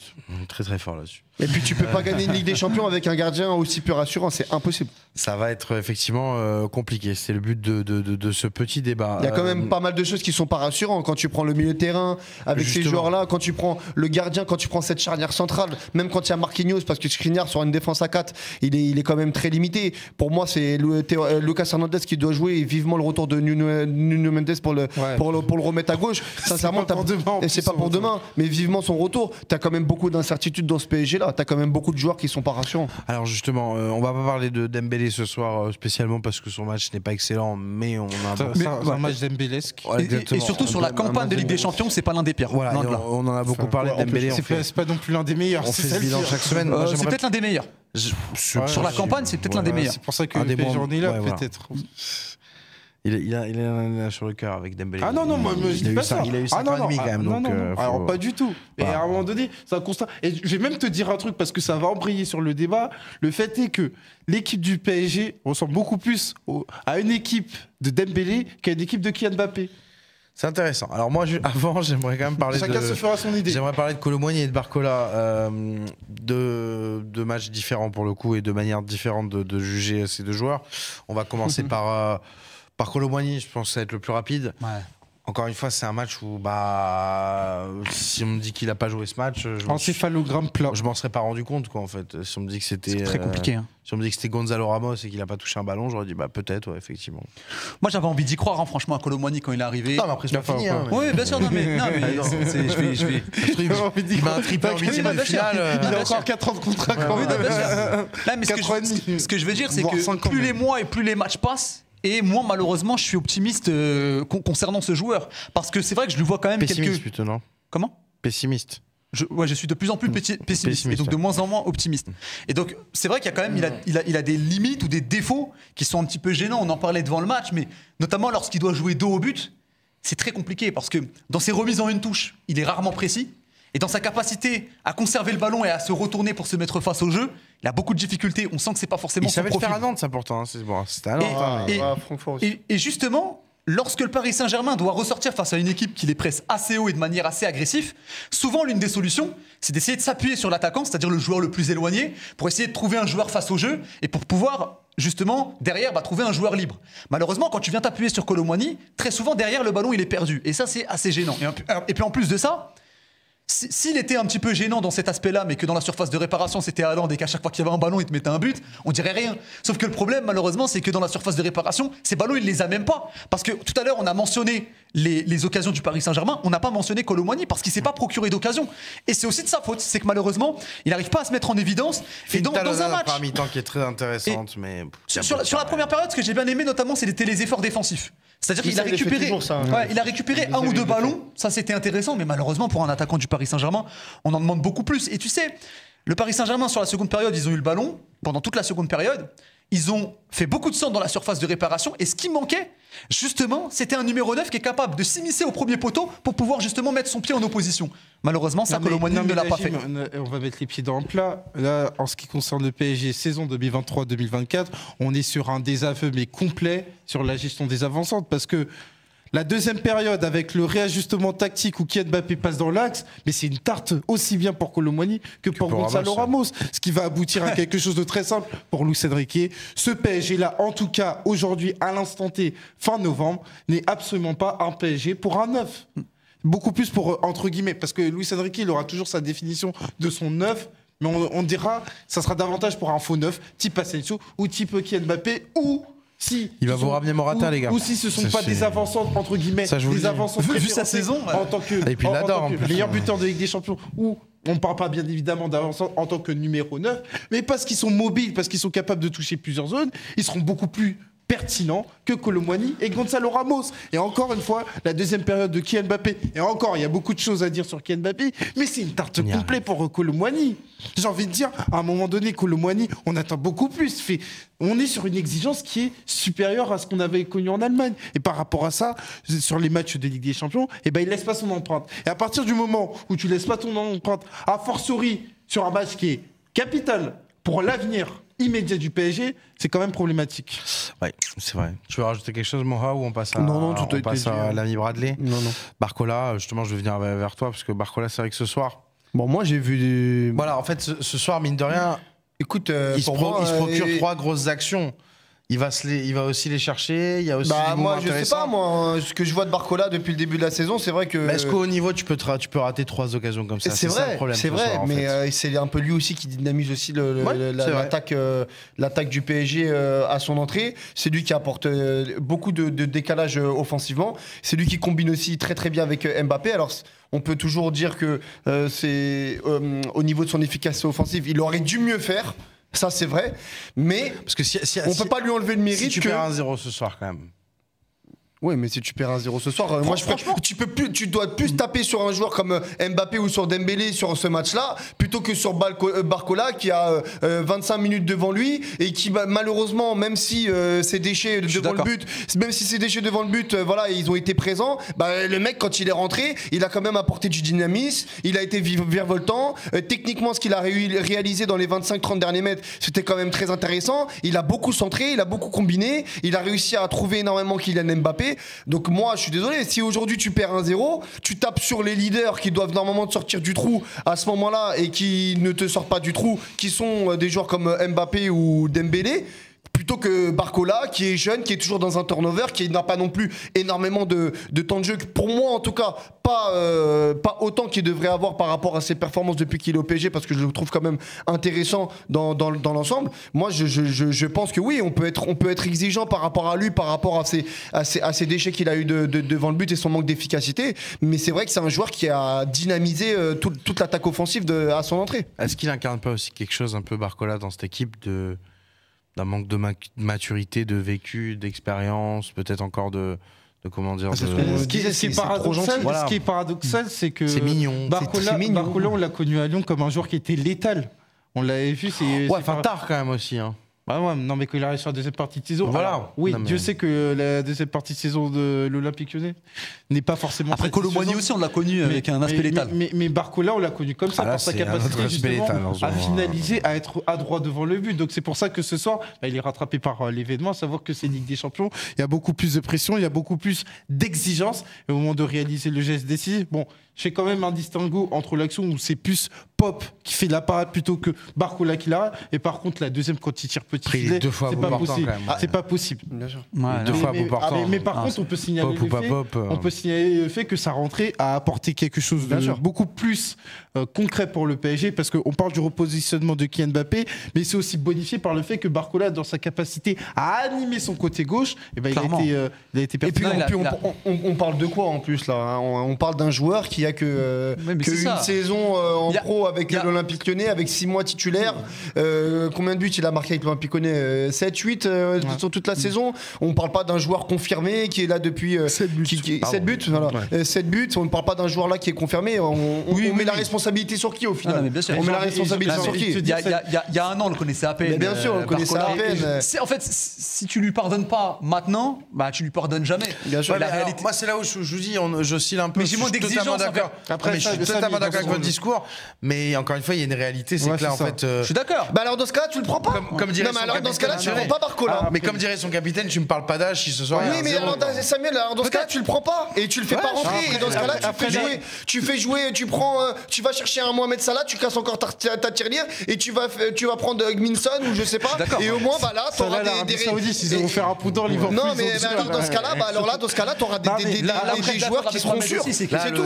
Le seul Salah que Il y tu a peux avoir, combien- c'est lui de Rennes. Si t'es pas patient avec un joueur comme Barcola et un peu indulgent avec un joueur comme ça, bah alors tu le fais pas jouer. Il y a combien de joueurs qu'on peut, qu'on qu'on peut critiquer avant Barcola ce soir. Non, mais Il y en a énormément, il y en a on au peut moins pas 10. parler de Non, mais Barcola, on non, peut pas dire euh, Barcola, c'est euh, euh, lui le responsable, c'est lui qui. Bien non, sûr, mais pas, pas forcément toi. Oui, mais j'ai vu sur Twitter tout à l'heure, euh, Barcola, euh, il est rentré et il a pas apporté. Mais attends, Barcola, c'est qui Barcola? On parle de qui là? On parle de qui? On parle d'une référence européenne depuis des années c'est pas un peu trop léger. Oh, Non, mais attention, il y a- Un juste milieu à voir. On a évoqué les qualités de Barcola, on a évoqué sa rentrée qui avait été pour moi pertinente. On peut pas occulter le fait que sa rentrée s'inscrit dans un contexte de Ligue des Champions, cinquième journée. J'ai envie de dire par là, quand Oui. Luis Enrique le met sur le terrain, c'est parce que Luis Enrique a confiance en Barcola pour sa capacité à changer quelque chose dans un match de Ligue Oui, tu rentres pas à Champions. 3-0 en Ligue 1. Donc euh, voilà, donc le on, le peut pas dire, on peut pas dire d'un côté que Luis Enrique le valorise en le faisant rentrer sur un match important de Ligue des Champions et pas un match au rabais et dire ouais mais en fait Barcola faut pas lui mettre plus de pression.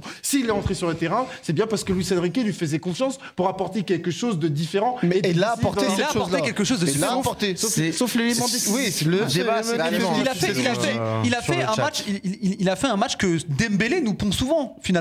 C'est-à-dire intéressant dans la percussion, intéressant dans la progression, mais dans le dernier geste, il y a y a ce manque.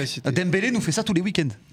Euh, Moi qui- j'aimerais bien qu'on parle d'Mbappé parce que c'est lui le. ouais, c'est lui, c'est lui dont on doit parler. Mais Je suis très clivant ce débat sur le chat, effectivement, où il y a le côté, euh, bah, Barcola, c'est un, c'est un gamin, faut lui, Oui, faut oui. être indulgent. Ah mais ça on et de l'autre, non mais c'est pour ça, nous on a synthétisé, on a dit un peu les deux finalement. Et de l'autre, Ah le, le côté, en vrai, mais- le côté, bah, 4 occasions ratées en C1. Ouais, voilà. euh, c'est- Ouais, bah c'est ça le résultat aussi, c'est que c'est un joueur qui joue pas non plus énormément, qui n'a pas non plus énormément de confiance en lui. C'est vrai que là tu le fais rentrer dans un match comme ça, euh, dans ce qu'il a proposé, avec le maillot du PSG, euh, dans un match aussi important, euh, dans ce qu'il a apporté, c'est quand même bien. Donc faut nuancer. Je dis pas que l'entrée de Bar- Barcola, elle a été, elle a été stratosphérique. S'il marque deux buts là sur ces trois occasions franches qu'il a eu, ouais là on peut dire que son entrée est tra- stratosphérique. Mais on peut pas dire que Barcola aujourd'hui ça a été euh, l'un des responsables de, de, de, de la non-victoire du Tout est une question de nuance. Exactement. Tout à fait. Euh, et je trouve que Ramirez Eagle le, résume bien en disant il faut l'encourager. Ah bah bien sûr, oui, oui. Il, a bien sûr. il a apporté des il- bons mots, depuis euh, le sur début, depuis qu'il est arrivé, quand il monte quand même à chaque fois qu'il joue, il quand même des choses montre intéressantes. il montre. Voilà, il manque quand même des choses on va voir intéressantes. Je pensais pas qu'il allait avoir ce rendement-là même. On va voir si vous êtes toujours dans l'encouragement. Euh, juste avant, je remercie ceux, qui sont avec nous ce soir. Vous êtes très nombreux. hein, merci. N'hésitez pas à mettre un petit pouce bleu sur la vidéo. Ça ne mange pas de pain, euh, comme disent les jeunes. Euh, N'hésitez pas, c'est très important. Ça ne mange pas de pain, c'est euh, pas les jeunes qui utilisent les jeunes, euh, les, les jeunes des années 20. Et Ah oui, euh, des c'est voilà, mais je, je- je navigue parmi les époques. Moi, c'est mon, c'est mon côté, euh, c'est mon côté retour vers le futur. Euh, et c'est aussi parce que j'ai une gueule d'avoir 20 ans de plus. Euh, voilà, donc on s'adapte, on s'adapte. Tout ça pour dire que votre indulgence va peut-être disparaître dans quelques instants, parce qu'on va parler du capitaine du Paris Saint-Germain, qui est Mbappé ce soir, un capitaine occasionnel, on va dire, avec la- la- la- la- l'absence de notre ami Marquinhos. Alors Mbappé, forcément, ce soir, il est dans un rôle qu'il adore. Il a la peau du sauveur. Voilà, c'est factuel. Il a marqué, il y a eu la célébration. Demain matin, une de l'équipe, ce sera Mbappé. Bon, d'ailleurs, mais enfin bon. Voilà. Euh, ce soir, c'est Mbappé qui sort le, le PSG du pétrin, entre guillemets. Maintenant, et c'est pour ça que le Club des 5 existe aussi, il y a une ligne de stats et il y a une prestation.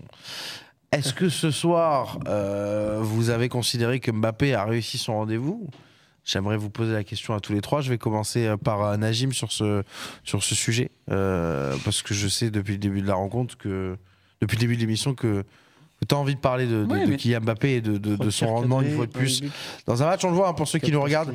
La, la, la fiche stat est assez intéressante parce que elle est justement euh, euh, mi-figue, mi-raisin. Il y a du bon, il y a du ça. moins bon. Il y a eu deux chapitres en fait. Euh, Mais euh, on constate qu'il y a beaucoup, notamment de, de ballons perdus et de peu de, de, de- de duels gagnés pour Mbappé. Et quelque part, ça représente aussi euh, une partie des lacunes parisiennes ce soir. Il y, a- il y a eu deux chapitres en fait dans le match d'Mbappé. Il y a eu les 60 premières minutes où il a été catastrophique.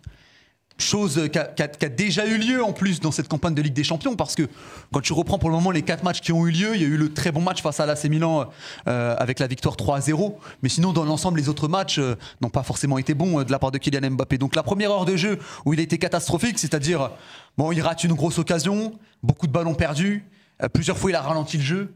Le Mbappé qu'on a l'habitude de voir finalement euh, sur ce début de saison en Ligue des Champions. Et puis il y a eu le deuxième ch- chapitre, c'est à la sortie de, de Colomani où là il a occupé le poste de numéro 9. Et là on a eu un Kylian Mbappé qui était quand même bien plus intéressant. Euh, C'est lui notamment qui donne un ballon notamment pour, euh, pour Barcola, qui aurait pu faire but. Il en Il donne en donne deux. deux. Il en Et donne la, deux. la deuxième est extraordinaire. Exactement, la deuxième incroyable, la talonnade. Donc euh, on a eu un... première, même la la première, quand il élimine, il élimine les deux joueurs. et après. Sur, sur- sur la, dernière- 10 sur la- fois sur 10, c'est but. Sur la dernière demi-heure, on a eu du, du très bon Mbappé. Le gros problème et la question qu'on se pose, c'est pourquoi on l'a eu si tard? En fait, j'ai la même l'impression que dans son attitude et dans ce qu'il dégage et dans ce qu'il veut impulser, j'ai l'impression que même lui se réveille beaucoup trop tard. C'est-à-dire qu'il se rend compte que l'équipe est dos au mur. Donc là, on va essayer d'impulser quelque chose de nouveau. On va essayer d'app- d'apporter du changement de rythme. On va essayer véritablement de faire basculer la rencontre. Il a aussi une, une occasion, un moment où il frappe, c'est repoussé, ça revient sur lui, il retente À sa fin- chance à et ça passe au-dessus en fin de match. Mais ça, Ouais, juste dans à- l'attitude. À côté, ouais. Juste dans l'attitude, on sent qu'à ce moment-là, il a véritablement envie de donner la victoire au Paris Saint-Germain. Mais pourquoi cette attitude, elle, elle arrive pas beaucoup plus tôt? Pourquoi sur la première demi-heure, a on a un Kylian Mbappé en fait. sur la première demi-heure, on a même, ou même, même après, hein, même, euh, même euh, après le 1-0, euh, avant Ouais. la mi-temps, on a Mbappé qui des fois perd le ballon. T'as pas la sensation qu'il est plus impliqué que ça. T'as un moment où voilà, il a du déchet dans les passes. T'as pas véritablement cette sensation qu'il a envie d'être le héros de ce match, qu'il a envie de, prendre les, choses en main et de mener l'équipe vers la victoire. Donc moi, ce qui m'a véritablement étonné aujourd'hui, c'est ce réveil beaucoup trop tardif de la part de Mbappé et cette première demi-heure qui n'est pas acceptable pour un joueur de son, de son niveau. C'est-à-dire que on parlait d'exigence avec euh, Barcola. Oui, Barcola, on peut faire preuve d'exigence.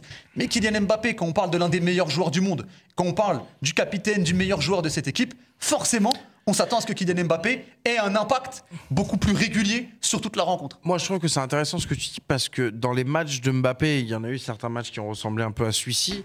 Euh, là où il a pas tort d'Agim, c'est qu'on a le sentiment qu'il y a, dans le premier mi-temps, un Mbappé qui est isolé un peu dans le collectif de manière négative et au contraire en deuxième mi-temps Mbappé qui va vouloir être le, pro- le protagoniste euh, et l'acteur euh, majeur de, de- la rencontre. Finalement, l'impression qu'il est toujours un peu euh, d'un extrême à l'autre, euh, un peu décalé, qu'on a rarement le, le- le- le bon Mbappé qui se, qui se fond dans le collectif. Je sais pas ce que t'en penses, Elton. Ouais, ouais, là-dessus, ouais, je peux te suivre. Et euh, ce qu'avait dit notamment Enrique après Reims euh, va un peu dans, dans ce sens-là, j'ai l'impression. Ouais, parce que quand tu sais que Kylian Mbappé, il est sur un côté, bah, sur le côté gauche en l'occurrence, et que le circuit préférentiel du PSG réside davantage sur le côté droit avec euh, Ousmane Dembélé et Achraf Hakimi, bah, forc- forcément, le jeu paraît asymétrique. Et il y a quand même une sacrée paradoxe, à savoir que le jeu du Parisien est asymétrique, alors que ton meilleur joueur est de l'autre côté.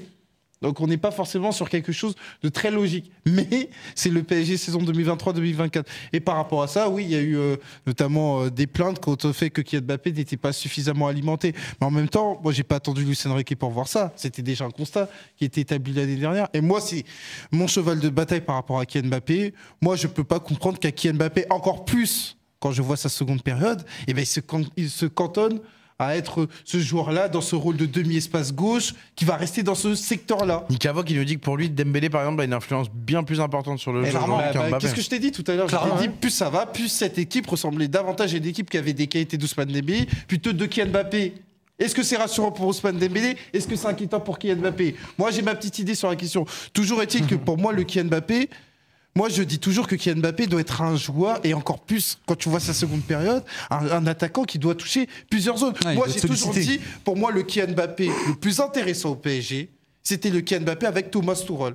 Celui, qui- celui qui était capable, lors de la saison 2018-2019, capable d'occuper plusieurs zones sur le front de la taille. Celui qui était capable de se rapprocher de, Ky- euh, de Kylian Mbappé, de Neymar, lors de la saison 2019-2020, avec en point d'orgue ce match contre Galatasaray. Mais il y a une rupture depuis qu'est euh, qu'est arrivé Pochettino et qu'il a consacré dans ce rôle-là, bah, Kylian Mbappé, il veut pas en sortir. Parce que c'est un joueur, bah, évidemment, 8 fois sur 10, il va faire la différence. Mais à un moment donné, c'est 8 fois sur 10. C'est pas 10 fois sur 10. Et les 10 fois sur 10, malheureusement, eh ben, ça arrive sur les matchs de Coupe d'Europe. Sur les matchs de Coupe d'Europe où, à partir du moment, la menace est localisée.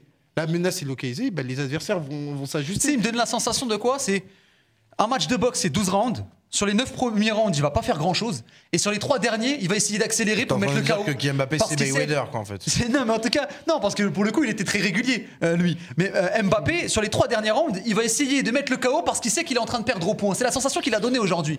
Et comme l'a dit Elton, cette stratégie, elle va fonctionner en Ligue 1, elle Bah va oui. fonctionner parfois En dans les Ligue 1, matchs de groupe. taper tout le monde. Mais par contre, contre le Bayern l'année dernière, Bah, le on a Bayern- vu que. Le Bayern, ils ont fait quoi Stanisic Contre le- contre le vrai poids lourd habitué, il va te mettre la droite qu'il faut, ouais. Nagelsmann, il est arrivé euh, du côté du centre d'entraînement Ouais. du Bayern. Ah, Mbappé, il est dans ce secteur-là. Stanisic ou pas Mécano. Ça- C'est ça, ça, ça, a peut-être même marché en huitième de finale, voire même en quart. fois qu'il a ça eu a un dé- plan, euh, ça, ça a déjà fonctionné, mais ça ne fonctionnera pas tout le temps. Bah oui. Et moi, ce que je demande à Kylian Mbappé, c'est qu'il ait une certaine régularité sur 90 minutes. C'est malheureusement quelque chose qu'on ne voit pas assez. Et comme l'a dit Elton, c'est vrai que dans une équipe qui manque d'identité, qui n'a pas de créateur, comme je le disais tout à l'heure, c'est vrai qu'on aimerait voir un, un Mbappé plus sollicité, beaucoup plus sollicité, comme l'a dit, dans, Mais dans moi, beaucoup ça plus de zones sur moi, le quand, terrain. je vois, euh, quand je vois à partir de la 60e minute, il va faire du corps à corps avec les défenseurs. Il est capable justement. Bah, on l'avait vu sur première saison avec euh, le PSG. Sa spéciale, je vais arriver, je vais faire mon crochet du droit et je vais centrer. Bah, c'est comme ça qu'arrive euh, le centre pour Barcola. Je fais, mais pourquoi tu n'utilises pas plus Je fais, à un moment donné, t'es Kylian Mbappé. Je pense pas que Luis Enrique va dire, non, non, Kylian Mbappé, t'es bien gentil, mais tu vas rester cantonné dans ce rôle-là. Je Mais- pense que Kylian Mbappé, il peut être plus intéressant. Si par exemple, je vais te donner un exemple. Pourquoi on ne voit pas la spéciale euh, Ousmane Dembélé qui lance Kylian Mbappé? On l'a vu à Reims sur deux trois bribes d'occasion et ça c'était des occasions dangereuses. Moi, j'aimerais bien voir un Kylian Mbappé qui soit capable de se dire je vais sortir de ce secteur gauche là et je vais aller davantage sur le côté droit pour faire la différence, pour attaquer les espaces. Kylian Mbappé, pour moi, est un joueur global, est un joueur qui peut pas se cantonner à moins de 25 ans dans Ça, un seul sûr. rôle. Même un Cristiano Ronaldo. Un Cristiano Ronaldo, j'ai vu aussi bien Manchester United, aussi bien Real Madrid, être capable d'occuper plusieurs rôles à l'intérieur même d'un match. Et quand je te dis des matchs, c'est des matchs de Ligue des Champions. hein. Et c'était Cristiano Ronaldo. Moi, je me dis, bah, Kylian Mbappé, ne te cantonne pas ce rôle-là. Tu as beaucoup plus de possibilités de faire mal à l'adversaire, comme ce que tu as montré en J'ajoute quand même malgré tout que euh, lors de sa conférence de presse avec l'équipe de France, il y avait une phrase quand même qui m'avait étonné, c'est qu'il disait notamment que son rôle avec l'équipe de France, avec le Paris Saint-Germain était différent parce qu'au Paris Saint-Germain, justement, on lui demandait de davantage coller la ligne. Et c'est là aussi où j'aimerais savoir, malheureusement, on n'a pas la réponse, mais savoir aussi est-ce que c'est des consignes de Luis Enrique? Qu'est-ce que lui demande réellement Luis Enrique? Parce que je pense que dans 80% des cas, c'est Mbappé le fautif. Mais je pense aussi que Luis Enrique a aussi sa part de responsabilité. Parce que cette phrase qu'il a sortie en conférence de presse où il t'explique qu'en équipe de France, il est beaucoup plus sollicité, justement, qu'il a un rôle beaucoup plus libre, c'est le terme qu'il a utilisé, et qu'avec le Paris Saint-Germain, il est cantonné Avec son être un petit employeur, peu plus sur la largeur, avec son employeur. Je la trouve pas anodine, cette phrase-là. Et je pense aussi que Luis Enrique a peut-être aussi une petite part de responsabilité là-dedans. Quand tu vois la deuxième période euh, du PSG et que je vois les différences qu'offre euh, Kylian Mbappé, moi je me dis à Dortmund, bah moi je repars sur cette Ah, mais clairement. Je repars sur cette formule-là avec Mbappé. Encore plus face à Dortmund, faudra voir euh, l'état euh, l'état moral de Dortmund parce que eux ils sont qualifiés et même s'ils sont à domicile, peut-être qu'ils vont être moins exigeants euh, sur leur football. Et moi je me dis, je repars sur cette formule-là avec un Kylian Mbappé beaucoup plus libre entre guillemets au moment d'attaquer l'adversaire. Et ça c'est quelque chose qui, encore une fois, me frustre parce que oui, Kylian Mbappé dans ce rôle-là, 8 fois sur 10, il va faire des différences. Mais le fait est que sur cette Ligue des Champions, cette Ligue des Champions n'est pas en adéquation avec son statut de podium ballon d'or. Et c'est quand même paradoxal parce que sa meilleure mi-temps sur la phase de Ligue des Champions, eh ben c'est ce soir, sur la, deux- euh, sur la seconde mi-temps. Là où il a beaucoup plus de possibilités parce qu'il sort de ce rôle-là, de son rôle attitré. Moi, Kylian Mbappé, juste pour euh, ajouter mon petit grain de sel, Ah, mais j'allais te demander l'assaisonnement complet, tu vois. Donc, je- euh, je- c'est c'est que. hum, fais-toi plaisir. À chaque fois que Kylian Mbappé, pour moi, joue face à, à une équipe qui, euh, qui met euh, énormément d'intensité dans les duels, qui ferme les espaces, comme l'a fait aussi bien euh, Newcastle, surtout dans les 60 premières minutes. Et Ouais, parce où que à chaque fois. Almiron pour travailler. pff, oh Ouais, là là là exactement. Et, et, et, et qui a une aussi bonne fermeture à deux face à Kylian Mbappé. À chaque fois, Kylian Mbappé n'arrive pas à s'adapter face à ces, à ces équipes-là. Et ça c'est depuis le début de sa carrière je, je parle, ça a été rare où j'ai vu Mbappé face à des équipes aussi hargneuses, aussi dures dans les duels, aussi travailleuses tactiquement, avoir la capacité de s'adapter. Encore une fois, aujourd'hui, et Najim a raison, il y a eu deux parties. Il y a eu la partie où il y a les 50 premières minutes avant le- le- le- le- les, les- les changements, où Mbappé est hors sujet total, et où euh, et il y a eu une deuxième partie où Mbappé, sur les, la dernière demi-heure, passe axial du coup et Barcola euh, rentre à gauche. Et c'est à partir de ce moment-là où Mbappé est mieux, aussi parce que c'est beaucoup plus décousu de la part de Newcastle tactiquement. Ouais. Il y a beaucoup plus d'espace, il y a beaucoup moins de fermeture des intervalles, il y a beaucoup moins de prise à deux, il est beaucoup plus seul. Euh, je me rappelle même d'un moment donné où, où Asensio choisit de frapper et, Ouais, ouais, et ça frappe au-dessus, euh, fra- ça frappe au-dessus. Mbappé, il est tout seul. Ouais. Il est tout seul. Et c'est là où je dis que Mbappé, à partir du moment où il y a euh, une, un, comment dirais-je, je vais quasiment dire un marquage individuel très très dur. Euh, sur lui, bah malheureusement, il n'arrive pas à s'adapter. Et ça, c'est un problème. Et ça, c'est une grosse problématique sur, Ouais, il reste sur son même jeu. registre. Il reste sur le même registre. Et ça, c'est une problématique. C'est ce que dit aussi Elton, c'est que au-delà du fait que Mbappé doit savoir jouer dans plusieurs zones du terrain, il doit aussi savoir jouer dans plusieurs styles Bah oui. Sur le terrain. C'est pas la même chose. Il doit savoir quand on parle, quand on dit que Mbappé c'est le meilleur joueur du monde actuellement, et ben le joueur du monde, le meilleur joueur du monde, bah pour moi offensivement, en tout cas parce que c'est un joueur offensif. Si ça aurait été un joueur défensif, ça aurait été autre chose. Mais là, on parle d'un joueur offensif. C'est un joueur offensif qui sait tout faire. C'est un joueur offensif qui sait Qui est pas donner- prévisible. Voilà, qui, qui sait donner des passes. C'est un joueur offensif qui sait marquer des buts. C'est un joueur offensif qui sait percuter, qui multiplie les appels. C'est un joueur offensif qui, quand il a une difficulté devant lui et qu'il a une prise à deux, eh ben peut-être qu'il doit s'a- s'adapter autrement et qu'il doit mieux s'adapter au niveau euh, de- des combinaisons, par exemple. Par exemple, ou qui doit plus euh, savoir euh, temporiser, gérer le, temps de jeu. Et là, malheureusement, Mbappé, je suis désolé, mais moi, sur les 60 premières minutes, et ça, on l'a vu aussi euh, à l'aller contre Newcastle.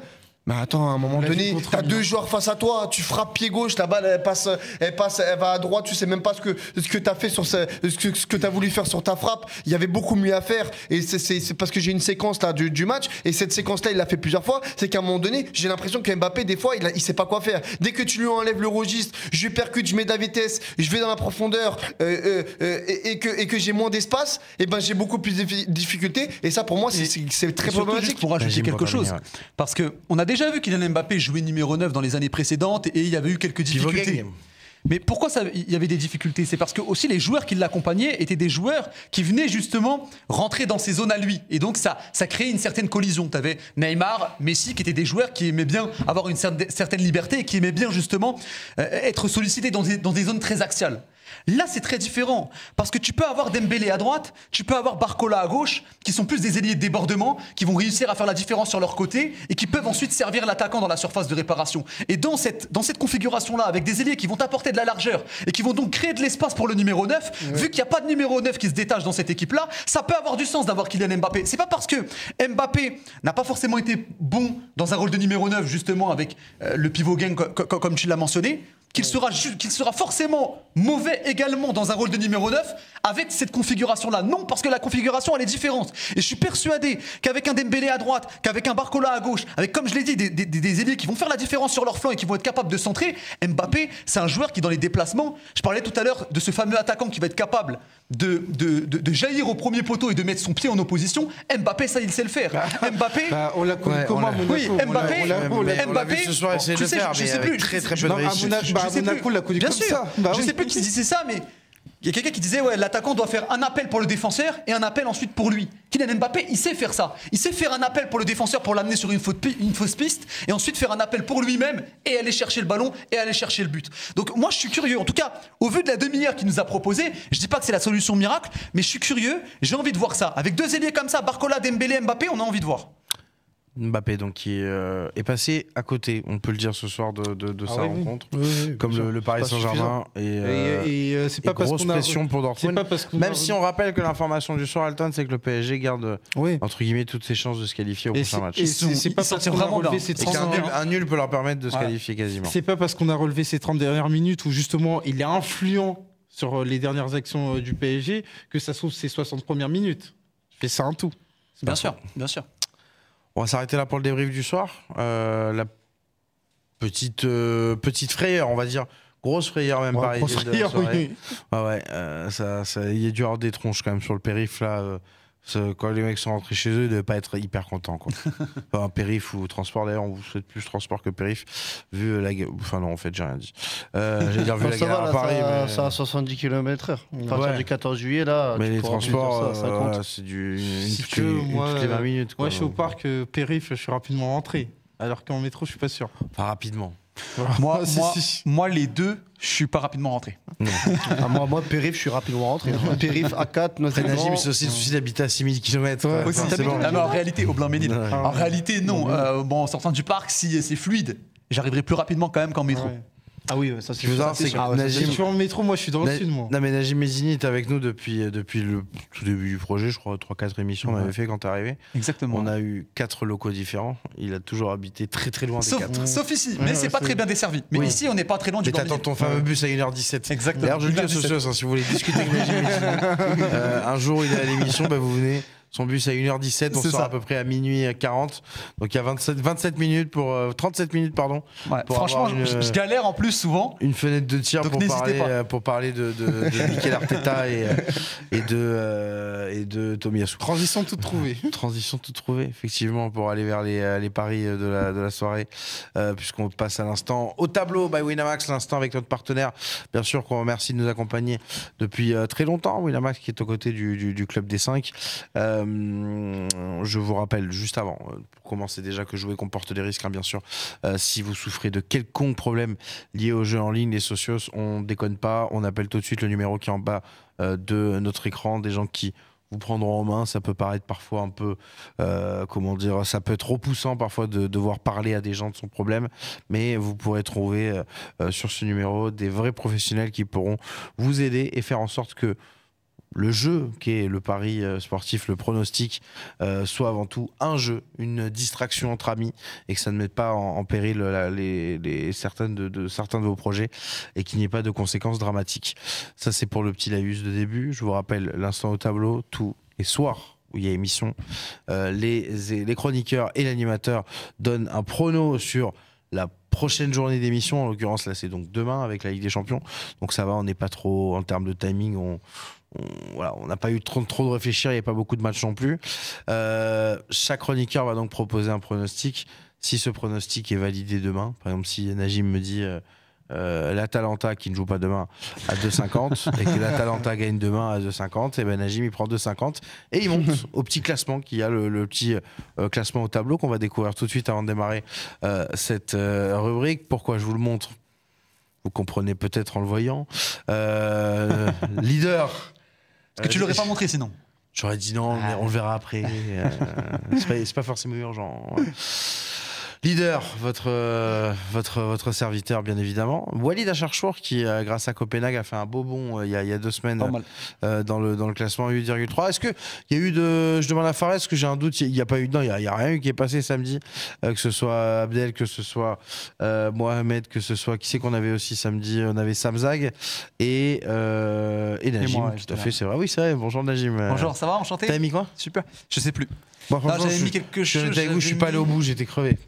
J'avais mis quoi déjà? Je me souviens plus. Mais c'est pas passé. C'est sur Aston Villa, j'ai mis Moussa Diaby. Moussa Diaby Moussa. Diaby, d'accord. Moussa Diaby Ok. qui est sorti à la mi-temps. Et en plus, Ah oui, d'accord. et en plus pour l'anecdote, il y a, je, je sais plus qui c'est. c'est- Je crois c'est mis quoi Abdel. ce soir euh, que je, que je fasse l'inverse comme Hugo Je vais commencer à. J'ai Ce pas- soir, ton pari, je vais Là, ce faire- soir, j'ai mis, j'ai mis Braga. l'inverse. Braga? Ah ouais, bah vas-y, spoil en Ouais, plus. ouais. Bah, Tu on va demandé de spoiler, j'ai spoilé. Non, on va commencer avec Najim. Ah, super. Juste pour l'anecdote. Termine sur l'anecdote de. de- L'anecdote, Ouais. c'était que Du coup, les gars, moi, je sais pas contre qui je joue Braga, mais vous mettez la En fait, Abdel, Abdel me fait la blague, il me dit Ouais, euh, ah, ah, à la place de Moussa Diaby, dommage, t'aurais non, dû, t'aurais dû dire Mike Ginn. Il dit ça en rigolant parce que Mike Ginn ne marque pas souvent.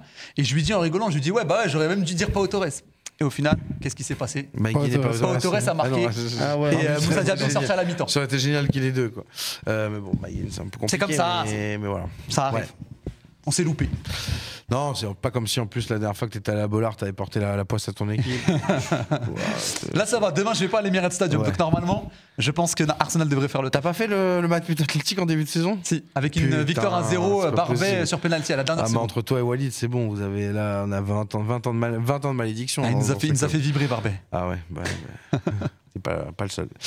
Euh, Braga, donc Najim. Braga. demain. Pour Braga. démarrer cet euh, instant au tableau. Braga qui joue donc. euh, Braga qui joue contre l'Union Berlin. tout à qui est en grosse Qui est en difficulté. grosse, grosse difficulté. marqué un La point. légende hein. Fischer qui, euh, a Braga, été débarqué. Voilà. Ouais. Et donc voilà une équipe de l'Union Berlin qui est en grosse difficulté à la fois en championnat et en Ligue des Champions.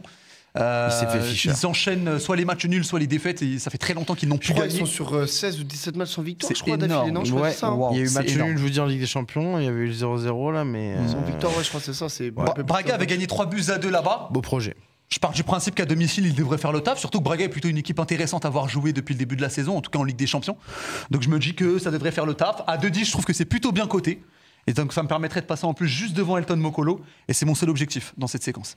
Elton qui, on rappelle, était, euh, était champion l'an dernier. hein.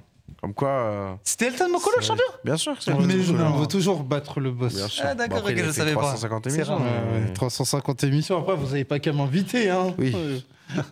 Vu comme ça. Ouais, ouais, comme ça, ouais. Oui, c'est- il n'a pas totalement tort. Euh, comme on est sur la Ligue des Champions, on va rester sur la Ligue des Champions, donc on terminera. euh, je vous donnerai mon prono moi à la fin. Euh, Qu'est-ce qu'on va faire? On va, bon, on va aller avec Elton, tiens. Ouais. Ça, on terminera par un club français euh, avec, euh, avec Mora. Qu'est-ce que j'ai dit de beau, moi? Tu nous as dit un match Ah, oui. nul, Galatasaray. Un match nul. United. On part en Turquie. Putain, je vois même la victoire des nul. Galatas, tu Pas vois. du On tout part- ce que j'avais, mais ok, vas-y, vas-y. On part en Turquie. Parce que oui, euh, bien évidemment, euh, j'aurais pu proposer la cote de Galatasaray qui a battu Manchester United au match aller du côté euh. Et tu pourrais dire que euh, Galatasaray, par rapport à ce qu'ils ont montré euh, face au Bayern sur la première période Exactement. et face à Copenhague sur la seconde période, ça pourrait, tu pourrais mettre la victoire. Mais contre Copenhague, à domicile, ils ont été menés 2-0 et contre Bayern, ils ont fini par perdre. Donc, Attention, United, euh, c'est chaud, hein. Bah, United, c'est euh, un 16e de finale. C'est un 16e de finale, c'est-à-dire Ouais. qu'une défaite, c'est terminé. Et donc, euh, par rapport à ça, moi, je suis allé sur un match nul parce que je pense que les deux équipes vont s'annuler. Que Manchester United, qui s'est quand même rétabli en mieux, première ouais. ligue, c'est quand même trois victoires de suite. Ils sont à deux points de Tottenham. Comme quoi, les saisons, elles peuvent vite euh, changer. Mais en ce qui concerne la Ligue des Champions, là, on est sur un 16e de finale pour euh, Manchester United. Et Manchester United demeure quand même fragile. Et je me dis que face au pressing de Galatasaray, ça va faire match nul.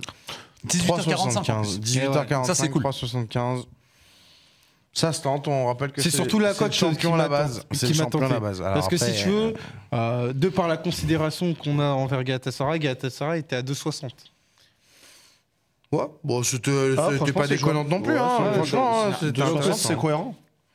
Alors, sur le chat, j'ai euh, euh, j'ai des socios qui me disent, j'ai Jérôme qui me dit euh, lance, ou, lance ou nul. Ça, j'y crois pas. J'ai Elton Z qui me dit deux buts partout. Mohar, qu'est-ce que tu nous proposes du coup, toi? Moi, je propose euh, lance nul à Ça, j'y crois 3,30. À 3,30. Elle est très très belle. Ah, Najim, c'est normal que tu crois pas. Pourquoi pas T'as des arguments quand même pour. euh, oh, on attend que je développe, là, vous avez pas. Ah de- ouais, ouais, bah. Après, je sais que d'habitude, tu nous mets des cotes à 1,30, donc là, on ne demande pas développement, mais à 3,30, à 3,30, on va un peu plus Eh, il a d'explications, dit, quoi. il a dit. Lance nul. Ah, mais parce que je croyais que vous alliez. euh, je savais pas qu'il fallait que je développe là. Euh, bah, déjà parce que la cote est belle, déjà. Faut Ouais. quand même le signaler quand même. Ouais, 3,30 c'est une cote à euh, trois. pour un lance ou nul, Oui, c'est c'est quand vrai, même. c'est euh, par rapport à la dynamique de lance euh, sur le début de. De sa campagne européenne, je trouve que c'est quand même très cohérent déjà. 3,30, elle est quand même alléchante. C'est vrai. Ah oui, non, toi, t'avais joué la Ligue 1, toi, Sam. donc Ouais, j'ai j'ai failli jouer. Moi, j'ai Ouais, failli t'as jouer pas- comme toi, voir, Ouais. voir jouer la victoire de Lens, mais Ouais. Ah oui, Bon, la d'accord. victoire de Lens, c'est un peu, un peu trop présomptueux, mais. je me suis un peu calmé. Euh, et, et- et du Je coup, je, vois Lens, je vois Lens gagner. euh, Je vois Lens gagner. Je vois Lens euh, euh, tenir en échec au moins Arsenal parce que je pense que ça va être un match où Lens va, va se donner. euh, va se donner à 400%, va sortir le match, euh, match peut-être de l'année en termes de, débauche d'énergie, en termes de, rythme, en termes d'intensité. Et euh, je pense que Lens, depuis le début de la saison, en tout cas en, Ligue des Champions, a montré euh, sur plein de matchs qu'ils sont capables de répondre aux défis physiques, aux défis athlétiques et aux défis techniques aussi sur cette, cette compétition-là. Et je les vois bien tenir en échec Arsenal, Arsenal à- à Londres. On rappelle dernière défaite d'Arsenal à domicile 14 mai 2023. Maintenant, c'est vrai qu'il y a quand même eu des matchs nuls entre temps. 14 mai 2023. Je, je dis pas que Lens va gagner, attention, c'est avant Jésus-Christ. Bah, c'est quand même euh, bien longtemps, 14 mai. c'est-à-dire que t'as pas Ouais, perdu à 14 mai domicile cette 2023, Il y a saison. moins de- il y a moins de 4 mois de compétition. Oui, bah à domicile quand même, tu perds pas pendant 4 mois, c'est quand même une sacrée Enfin, performance, non Pour moi, ça me paraît normal pour Ah d'accord, ok, bah merci, t'as- t'as- Ah oui, tu, tu, tu mets très haut Arsenal et ça me fait plaisir Ah alors oui, dans ce cas-là. ça me paraît, ça me Mais, paraît euh, normal. C'est vrai, que- c'est vrai que ta stat, elle est pas ouf. Moi, ouais, je la trouve ça pas doit mal. être pas ouf, mais attends. Ne pas perdre pendant 4 mois à domicile. Ah, ah oui. bah, Moi, franchement, je trouve que Arsenal, oui. Il y a beaucoup d'équipes euh, qui n'ont pas la Dans une rubrique prono, je trouve que c'est une stat qui est très appropriée. Merci beaucoup. Ah oui. Merci beaucoup. Maintenant, j'allais aller voir. mais je suis obligé de dire, l'autre euh. sens. Mais bon, j'allais dire quand même qu'il qu'il y a aurait eu pu faire une anecdote d'Anagim, genre non, quand euh, il y a la peinture nuls. sur le stade. là. C'était hier. Un match nul contre Tottenham et un match nul contre Fulham. Mais euh, ne pas perdre de la saison alors qu'on est au mois de décembre Mais à même pas 10 domicile, c'est pas mal. saison. Avec la Ligue des Champions, avec le championnat, quand même. T'as joué quand même contre des gros, notamment contre Manchester City à domicile. Mais bon, apparemment, peut-être que Manchester City, c'est pas assez, monsieur Elton Mokolo. Non, non, non, mais c'est non, c'est quelque chose à prendre en compte. Mais après, c'est sur un match. Moi, je pense que Lens, je dis, je dis pas que Lens va gagner. hein. C'est pour ça que j'ai mis le Bah, je vois à ça, ça 3 intéresse 30 bien je la vois que c'est- cohérent. Voilà, c'est aller, tentable. C'est tentable, La victoire de Lens, c'était beaucoup trop haute pour le coup, quasiment à 7. Mais le match nul sec à Mais 5,50. ma- maintenant, j'ai peur parce que tu sais, j'ai parlé, etc. On va ressortir la séquence. Là, maintenant, je commence à avoir Ça peur. peut devenir un jingle. Exactement. Ça peut devenir un est- je suis plus, je suis plus si serein. Après Mora, je t'avais dit, non, quand on met, quand on met une cote à 1,30 et qu'elle passe pas, Non, Ah oui, c'est vrai. C'était même pas un 30. c'était Si, moins. si, si, on va raconter cette 27, histoire, Mohamed. Un 27, ouais. Raconte-nous. Ah, un 27 Un 27. Bah, Lille qui va jouer aux îles Féroé. Non, qui va jouer ou qui reçoit va jouer. Ah, Qui va jouer aux îles Féroé. et les îles Féroé. Et moi, je me suis dit dans la C'est tête. honteux, bon, ça. Ah, classe, je vais- parce que les îles Féroé, c'est. Je, je sais même plus c'était quel Ouais, club. classe, classe, euh, classe Nick. Classe, euh, Non, c'était même pas. Classian Nutella. ouais. Ah non, c'est vrai. Et du coup, ça, je me dis, je me dis bon, les gars, je viens de rentrer dans le jeu, je vais prendre mon- ma petite cote, rentrer dans le La tableau. stratégie de la tortue, on Voilà, la stratégie de la tortue, je vais monter petit à petit. Lille qui va jouer aux îles Ah ouais, bah la tortue là. C'est Les braconniers non, sont passés par là. Ne pas hein. faire passer une cote à 1,27, Ah, c'est un truc de ouf. C'est quand même un truc de fou quand même. Non, Et je vois que Moi, je dis, match nul. Normalement, 0-0. on aurait dû mettre un, on aurait dû mettre un malus, on l'a pas fait. parce franchement, que je l'aurais mérité. C'est voilà, il y a eu la conjoncture, mais Franchement, je euh, l'aurais c'est- mérité. Ça méritait. Je l'aurais mérité.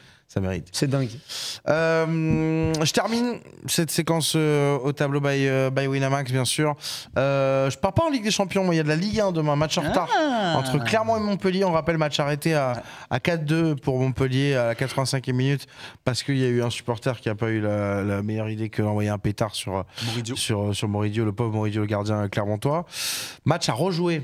Bon, alors, encore là, pareil, hein, comme on parlait, on, on parlait d'uniformisation euh, du règlement en début d'émission sur la main, euh, sur les matchs à rejouer. Alors, quand il y en a un qui pousse à peine un joueur, euh, on tue le club. Par contre, quand il y en a un qui balance une arme à feu sur un joueur, tout va bien, on rejoue le match. Il a huis Voilà. clos le match? Je suis même pas sûr. Mais je voudrais pas dire de bêtises. S'il est au moins, Si, si, pense est au moins pas Alors, à huis clos, la tribune est à huis clos. Alors, attends, on va, on va vérifier tout de suite parce que on n'est pas là n'y a pour pas dire au des moins bêtises. cette sanction, c'est. Mais bon, c'est vrai que les sanctions sont pas complètement très dingue. uniformes. Mais... Putain, 3,80 quand même. Hein. Euh, je, je pense que c'est à huis clos. On vérifie quand même parce qu'il faut, faut, faut être sûr. Mais je vois que tout le monde a déjà ma cote et doit être en train de me juger.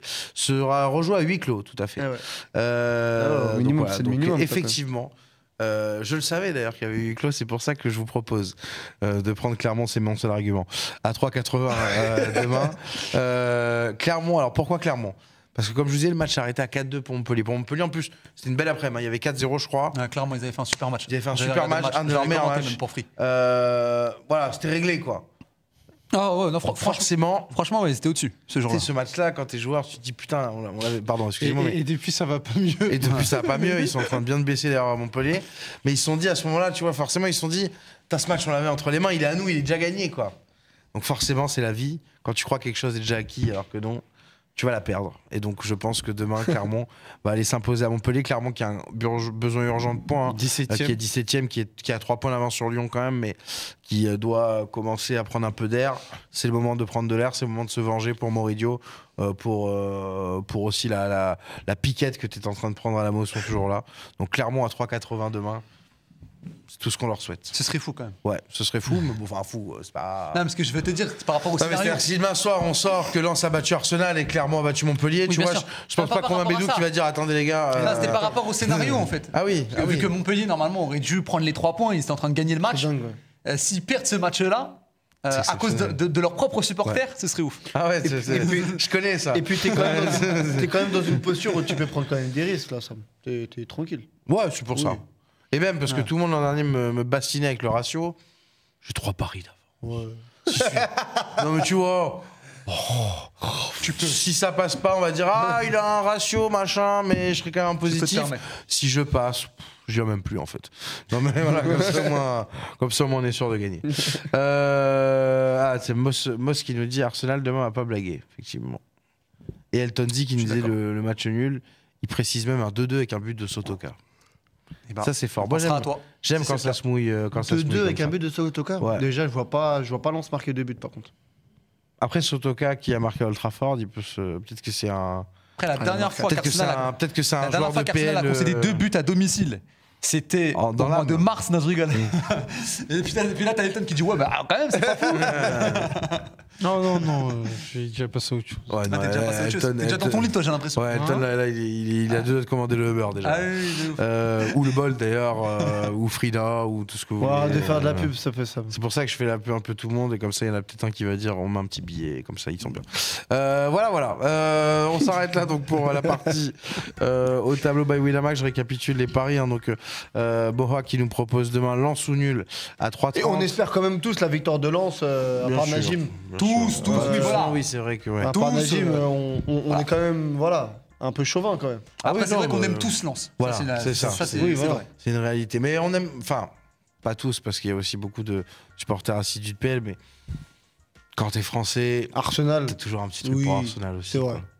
C'est vrai. Oui, oui, c'est sûr, vrai. Enfin, moi, je le dis. en tant souvent, que- souvent, souvent. Moi, en tant que, enfin, Ah, de ma génération, moi, année, dans les, euh, année, voilà, 1995, euh, je suis désolé, il y avait une équipe avec Thierry Henry, avec Wiltord, avec Pires, avec Patrick Vieira, euh, Bien sûr. avec Pascal Sigan. Sigan. Euh, Oh. Je pouvais pas ne pas aimer cette équipe. Voilà. Ça me fait plaisir ce que tu dis. Non, mais si C'est je peux- voilà, C'est la vérité.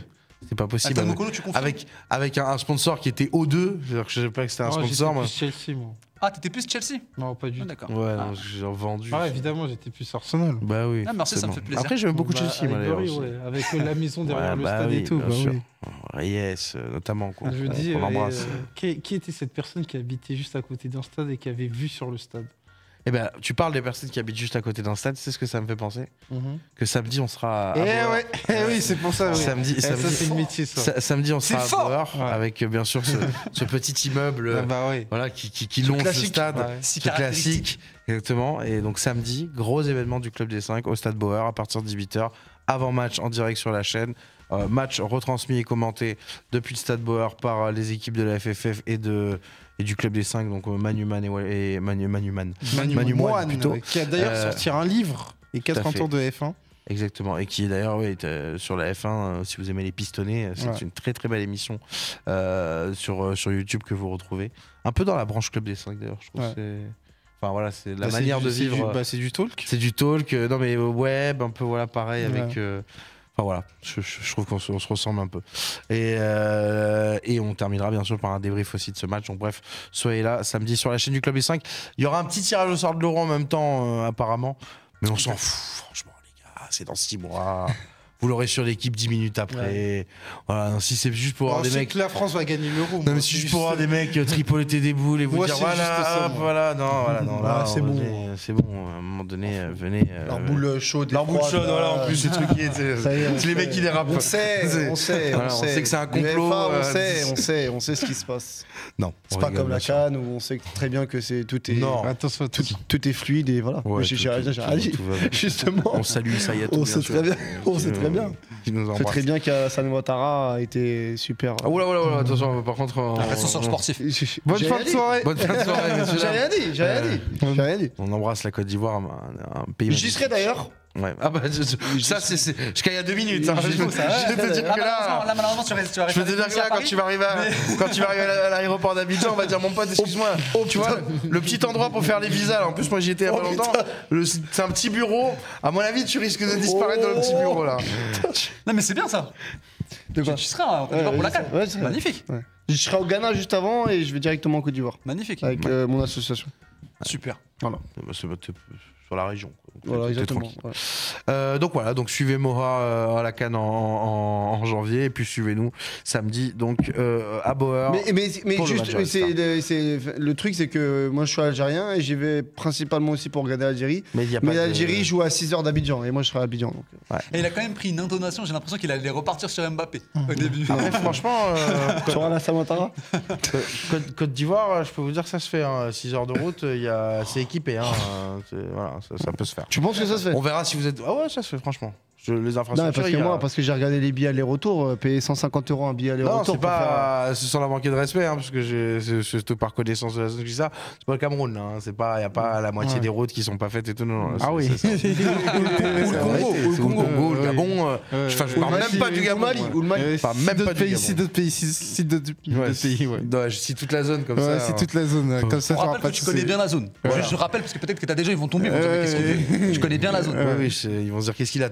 Qu'est-ce qui- Qu'est-ce qui lui arrive Euh, Bon, on va s'arrêter là euh, avant que ça dérape. Euh, merci. parce que- Non, je rigole, tout va bien, bien sûr. Tout C'est contrôlé, dérapage contrôlé. Elton Mokolo qui était avec nous ce soir, Najim Medini, Mohamed Bezoaoui, merci à tous les Merci. trois. C'était un Merci vrai plaisir de débriefer cette rencontre avec vous. Merci bien sûr aux équipes de la régie, de, de la rédaction du Club des 5 qui ont préparé cette émission. Alors, aux équipes, c'est un peu fort de café ce soir parce que c'est l'hécatombe en ce moment au Club des 5. Ah oui. Tout le monde est un peu malade, occupé, etc. Qui est malade là en ce moment? Donc ce soir, on avait un duo de Red Chef pour préparer l'émission. Donc c'était un. C'est un peu nos- comme MLM, c'est la Ben et Nuts, là. euh, Antoine Le Breton et Fares Hachem qui ont tout géré tout seuls. C'est vrai que ça fait longtemps que je les avais pas vus ensemble. Ouais, c'est, bah, je crois, je me demande, est-ce Ils que c'est étaient en- pas, Ils étaient en embrouille les deux. est-ce que c'est Ouais, pas c'est grave. inédit sur un débrief, sur un Non, débrief on peut le dire parle. aux sociaux s'ils étaient en embrouille les deux. Ah, On s'est souvent posé la question depuis 16 Non, ans. hein. Sur l'histoire du club des 5, non, je les ai quand même déjà vus ensemble. Oui, mais, est-ce que sur un débrief, vous l'avez déjà fait ensemble, Antoine et... Ah, alors, plusieurs bon, fois quand même. Oui, peut-être les sur- finales, ouais, les finales, les finales. Plusieurs fois. Peut-être sur un débrief ici, mais en tout cas sur l'histoire du club des 5, si. Oui, euh, mais sur un, sur un- bon, bref. Euh, non, voilà, bon, faut- bon, En Bref. tout cas, voilà. Il n'y a plus à être en embrouille les gars, C'est c'est bon, arrivé. tranquille, hein, il y a pire dans la vie. Les gars, on Ah, il y a eu s'aime. à un moment donné, il y a eu la petite concurrence. On s'aime. euh, il y a je peux vous dire que dans la rédaction, il y en a qui donnaient leur préférence. C'était c'était un peu comme la Starac, quoi. Fallait taper un ou taper deux. Je dirais pas qu'il y avait le plus de votes. Euh, mais on sait les résultats, en tout cas. Le maître Moya nous a, nous a tout confié. Merci en tout cas à eux d'avoir préparé cette émission. Et puis merci à vous, les socios, euh, de nous avoir suivis. Tous ceux qui sont en direct avec nous sur YouTube, euh, sur Twitch. Il y a de plus en plus de monde. hein, sur Twitch, de plus en plus de gens qui nous découvrent aussi. Alors, de plus en plus de monde, non, mais de plus en plus de gens qui nous découvrent, oui. C'est la, la nuance est importante. Et puis, on, bien sûr, on vous embrasse, hein, tous ceux qui nous en podcast et qui suivaient l'émission via ce billet. Rendez-vous donc demain pour le Club des 5 pour le prochain rendez-vous avec Romain Bédouk pour revenir sur, euh, on l'espère, peut-être une victoire française demain face à Arsenal. Et euh, d'ici là, je vous souhaite une très bonne nuit, une très bonne soirée. et à demain. Ciao, tout le monde. Ciao. Bonne nuit. ciao. ciao.